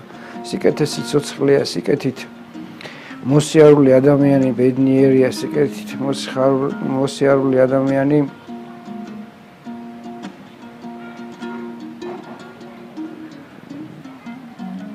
იმრავლოს უმერთმა ჩვენ ქვეყანაში სულ სიკეთის მაყურებელი ადამიანი ახალგაზრდობა იმ სიკეთის შემყურე გაიხსენეთ თქვენი პირველი დამოუკიდებელი ნაბიჯი ეს იყო ანსამბლი ხარულთან ერთად ლეხანოვის კულტურის ცენტრი ბატონი ვაჟა აბაშიძის ხელმძღვანელობით ლესელიძეში წავედით ბავშვები. და ძალიან კარგად მახსენდება იქ ყოფნის პერიოდი. თავისუფლება მეგობრებთან ერთად კონცერტები, ფეხბურთის თამაში, რა თქმა უნდა, ბუნებრივია, იქ დილას ადრე ადგომა. კვება იყო თუ ზღვის ნაპირას სეირნობა. ახსენდება მშობლები გვაკითხავდნენ ხოლმე, ჩამოდიოდნენ მშობლები. ჩამოქონდათ ხილი სულ საათი სანოვაგე. მოგვიკითხავდნენ, მოგვისიყვავლებდნენ ხოლმე და მე ისევ მიდიოდნენ. ხან ერთხელ ერთი ორი წვილი მშობელი სიტყვაზე, მე მეორე და ასე შემდეგ. მე ესე გამახსენდა ჩემი დამოუკიდებელი, ასე ვთქვათ, პირველი მოგზაურობა ბატონ ვაჟა აბაშიძის ხელში ასაფსიხარულში. რა არის თქვენთვის ბედნიერება და ხართ თუ არა ბედნიერი? მოკლედ რო ვთქვა ზოგადად ვარ ბედნიერი. იმიტომ რომ ვიცი ვინც ვარ, ვიცი რას მიკეთებია, რას ვაკეთებ და რის გაკეთებას ვაპირებ. ბედნიერება კიდევ ერთხელ მეორებს სიკეთე, აი სიყვარული რასაც გრძნობ აი ახალგაზრდისგან თქვენგან, თქვენგან. აი ამ ბახში რო ზივა და ვიცი რამ ხალხ რამ მაკავშირებს და უშათ ამ ბახს თუ სიტყვაზე ჩემს თბილის ქალაქს თუ ჩემს სამშობლოს. აი ბედნიერი ვარ მე იცი, მაგრამ შეიძლება ითქვას რომ აი რაღაცა ცხოვრებისეულ შე რაღაცნაირში აი მაკლია ბედნიერება იცი გულს მოსიტყვაზე ოჯახს რომ არ არის ჩემს გვერდში ჩემი შვილი ჩემი მეუღლე და უშო აი ეს არის ერთი იცი როგორ გითხრა აი ბოლოს მაინც ოჯახია ყველაფერი რა და როდესაც აი ასე ვთქვათ ხანდაზმულობის ჟამს სულის ამოსვლის ჟამს გეფერება შენი სიტყვაზე 50 წლის მეგობარი და მიგაცილებს იმ ქვეყანაზე მაგას დიდ ბედნიერება რა უნდა იყოს გაიხსენეთ ბავშვობის წლების ყველაზე დასამახსოვრებელი ეპიზოდი. დამოუკიდებლად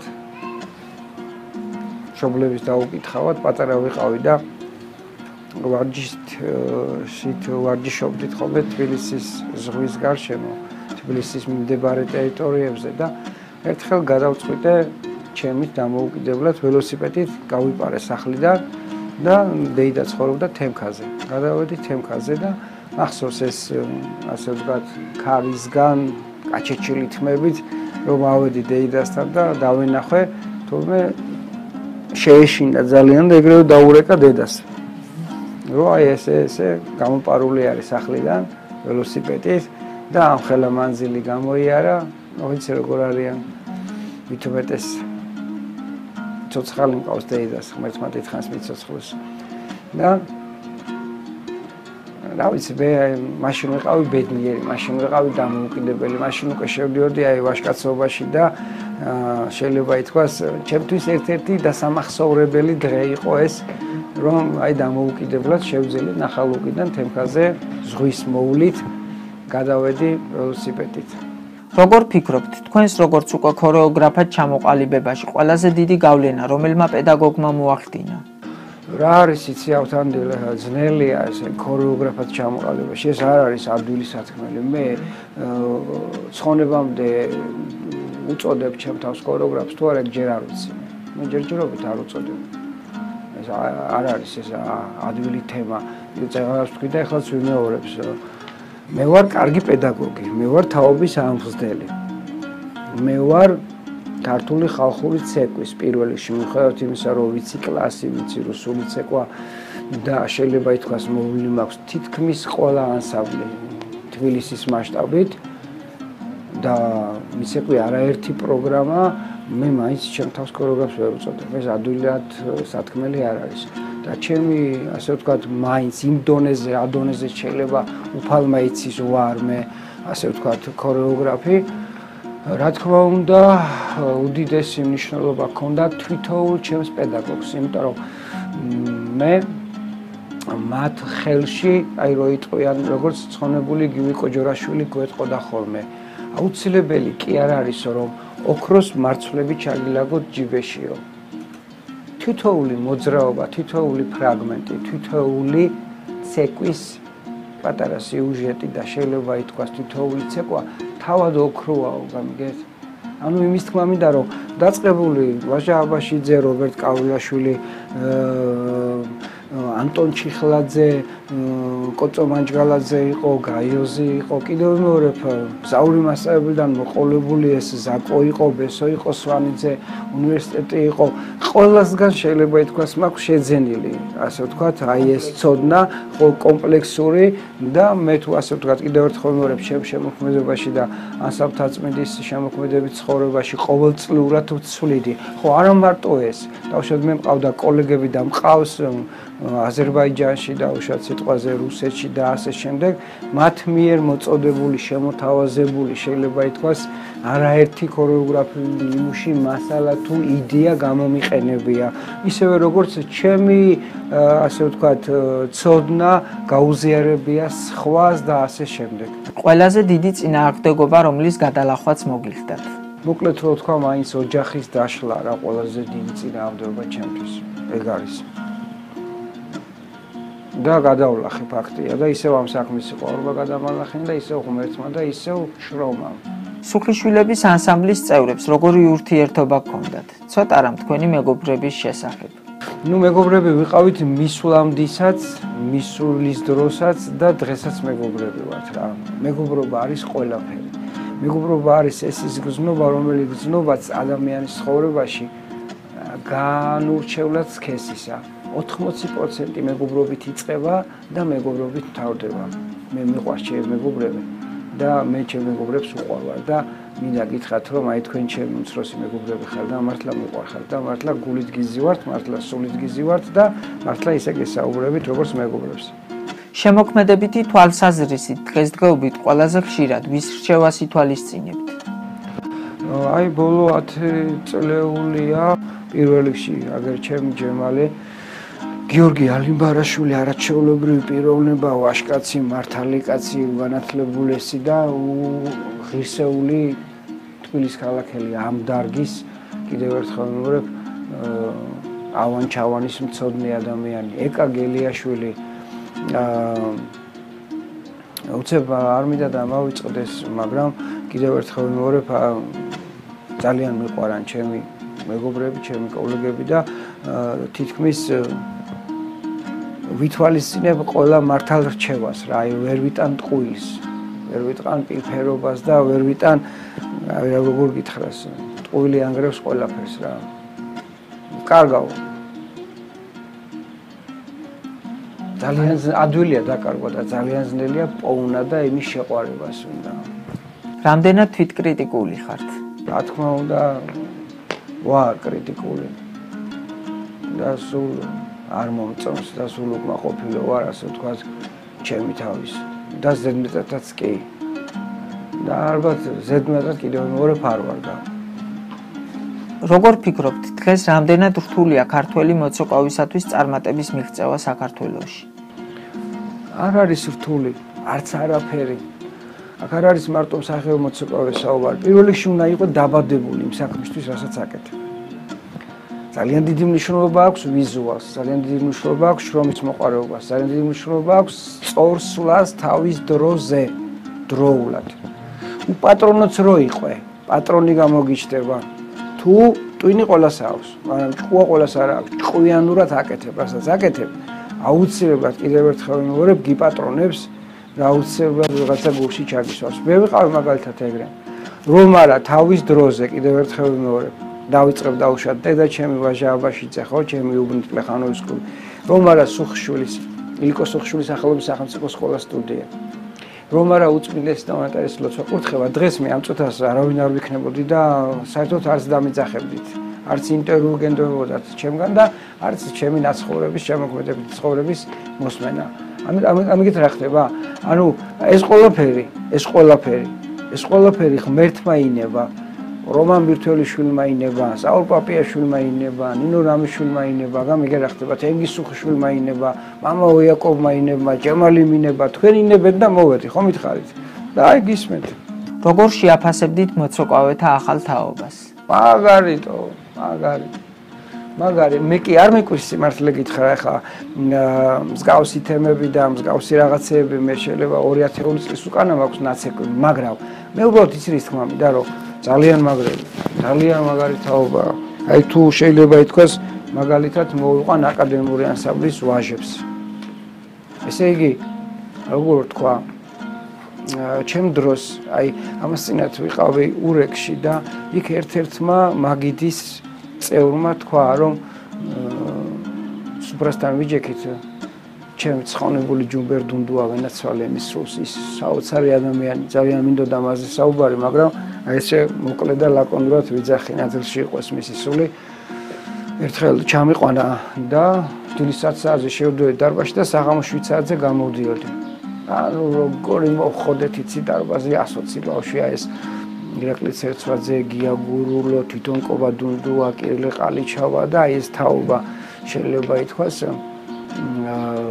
დარბაზში იდნენ მაშინ მე არ მახსოვს ახლა ახალგაზრდა ბიჭი ვიყავი და მაგის მეტი ცეკვის მეტი არაფერი არ მახსოვდა. ხო და ერთი სიტყვით რის თქმა მინდა რომ ძალიან მაგარი თაობაა რა ხო და ტეხილი ახსენა რა ტეხილიო პირველათო გიეს ხელში მიცეკვეთო ამ ბიჭმა. და სადაც მესიამო და თასავას გამიკვირდა. მაგრამ ხა რის თქმა მინდა მაშინ ცოტა დაბლოცეკვავდით რა ჩამჯდარი აი ახლა დღეს რო უყურებ ჩათვალე მე რასაც 2000 წლის უკან უფრო მიწასთან ახლოს ვცეკვავდი ეხლა ამ ყველაფერს ეხანდელი თაობა ჰაერში ცეკვავს რა გამიგე უფრო აი ზევით არის ასული და აწეული ეს ყველაფერი. და უფრო რაღაცა ჰაეროვანია უფრო მეტად ცეცხლოვანი არ ვიცი რა თუნდაც მუსიკის როლი მაგრად შეიცვალა და მაგრად წინ წავიდა. რა რჩევას მისცემდით საკუთარ თავს ცოტა ვილაპარაკო და კიდევ უფრო მეტი გავაკეთო. და ბოლოს, ორი სიტყვით ჩვენი გადაცემის შესახებ. ძალიან მნიშვნელოვანი.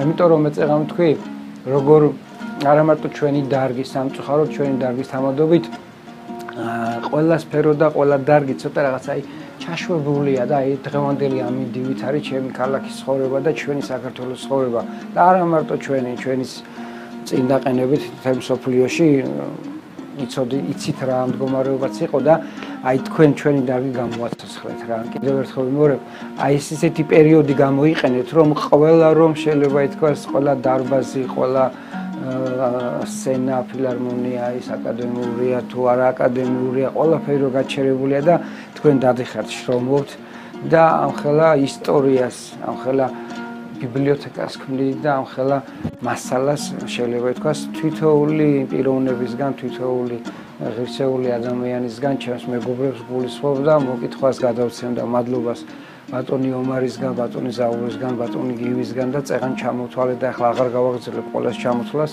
კიდევ ერთხელ დიდი მადლობა. ავთანდილ დავით თქვენ კახას მადლობა და ყოველს ვისაც კი გხედავთ. ვინც კი გნახეთ ამ ჩემ და ვისე ვინც კიდევ მიიღებს ხვალდაზე ჩემს მე ამ პროექტში მონაწილეობას და დარწმუნებულები იყავით რომ უდიდეს საქმეს აკეთებთ თუნდაც ჩემი პატარა იოანესათვის რა ოდესღაც მას მიწდება ეს ჩანაწერი. დამონტაჟებული შეფერებული ჩაჭრილი ჩამოჭრილი გაფორმებული სხვა კადრებით და შეიძლება მოიკითხოს ჩემმა შვილმა და თქვა, აი ვინ გააკეთა ჩემი მამიკოს, ჩემი შამქნელი მამის აი ეს კადრები მას ვენაცვალეო და კაი პურმარელი გაგიშალოთ მე შეიძლება. ბატონო გია კიდევ ერთხელ უღრმესი მადლობა მინდა გადაგიხადოთ იმისათვის რომ დღეს ჩემი გადაცემის სტუმარი იყავით. ხანგრძლივ წარმატებულ შემოქმედებით საქმიანობას გისურვებთ.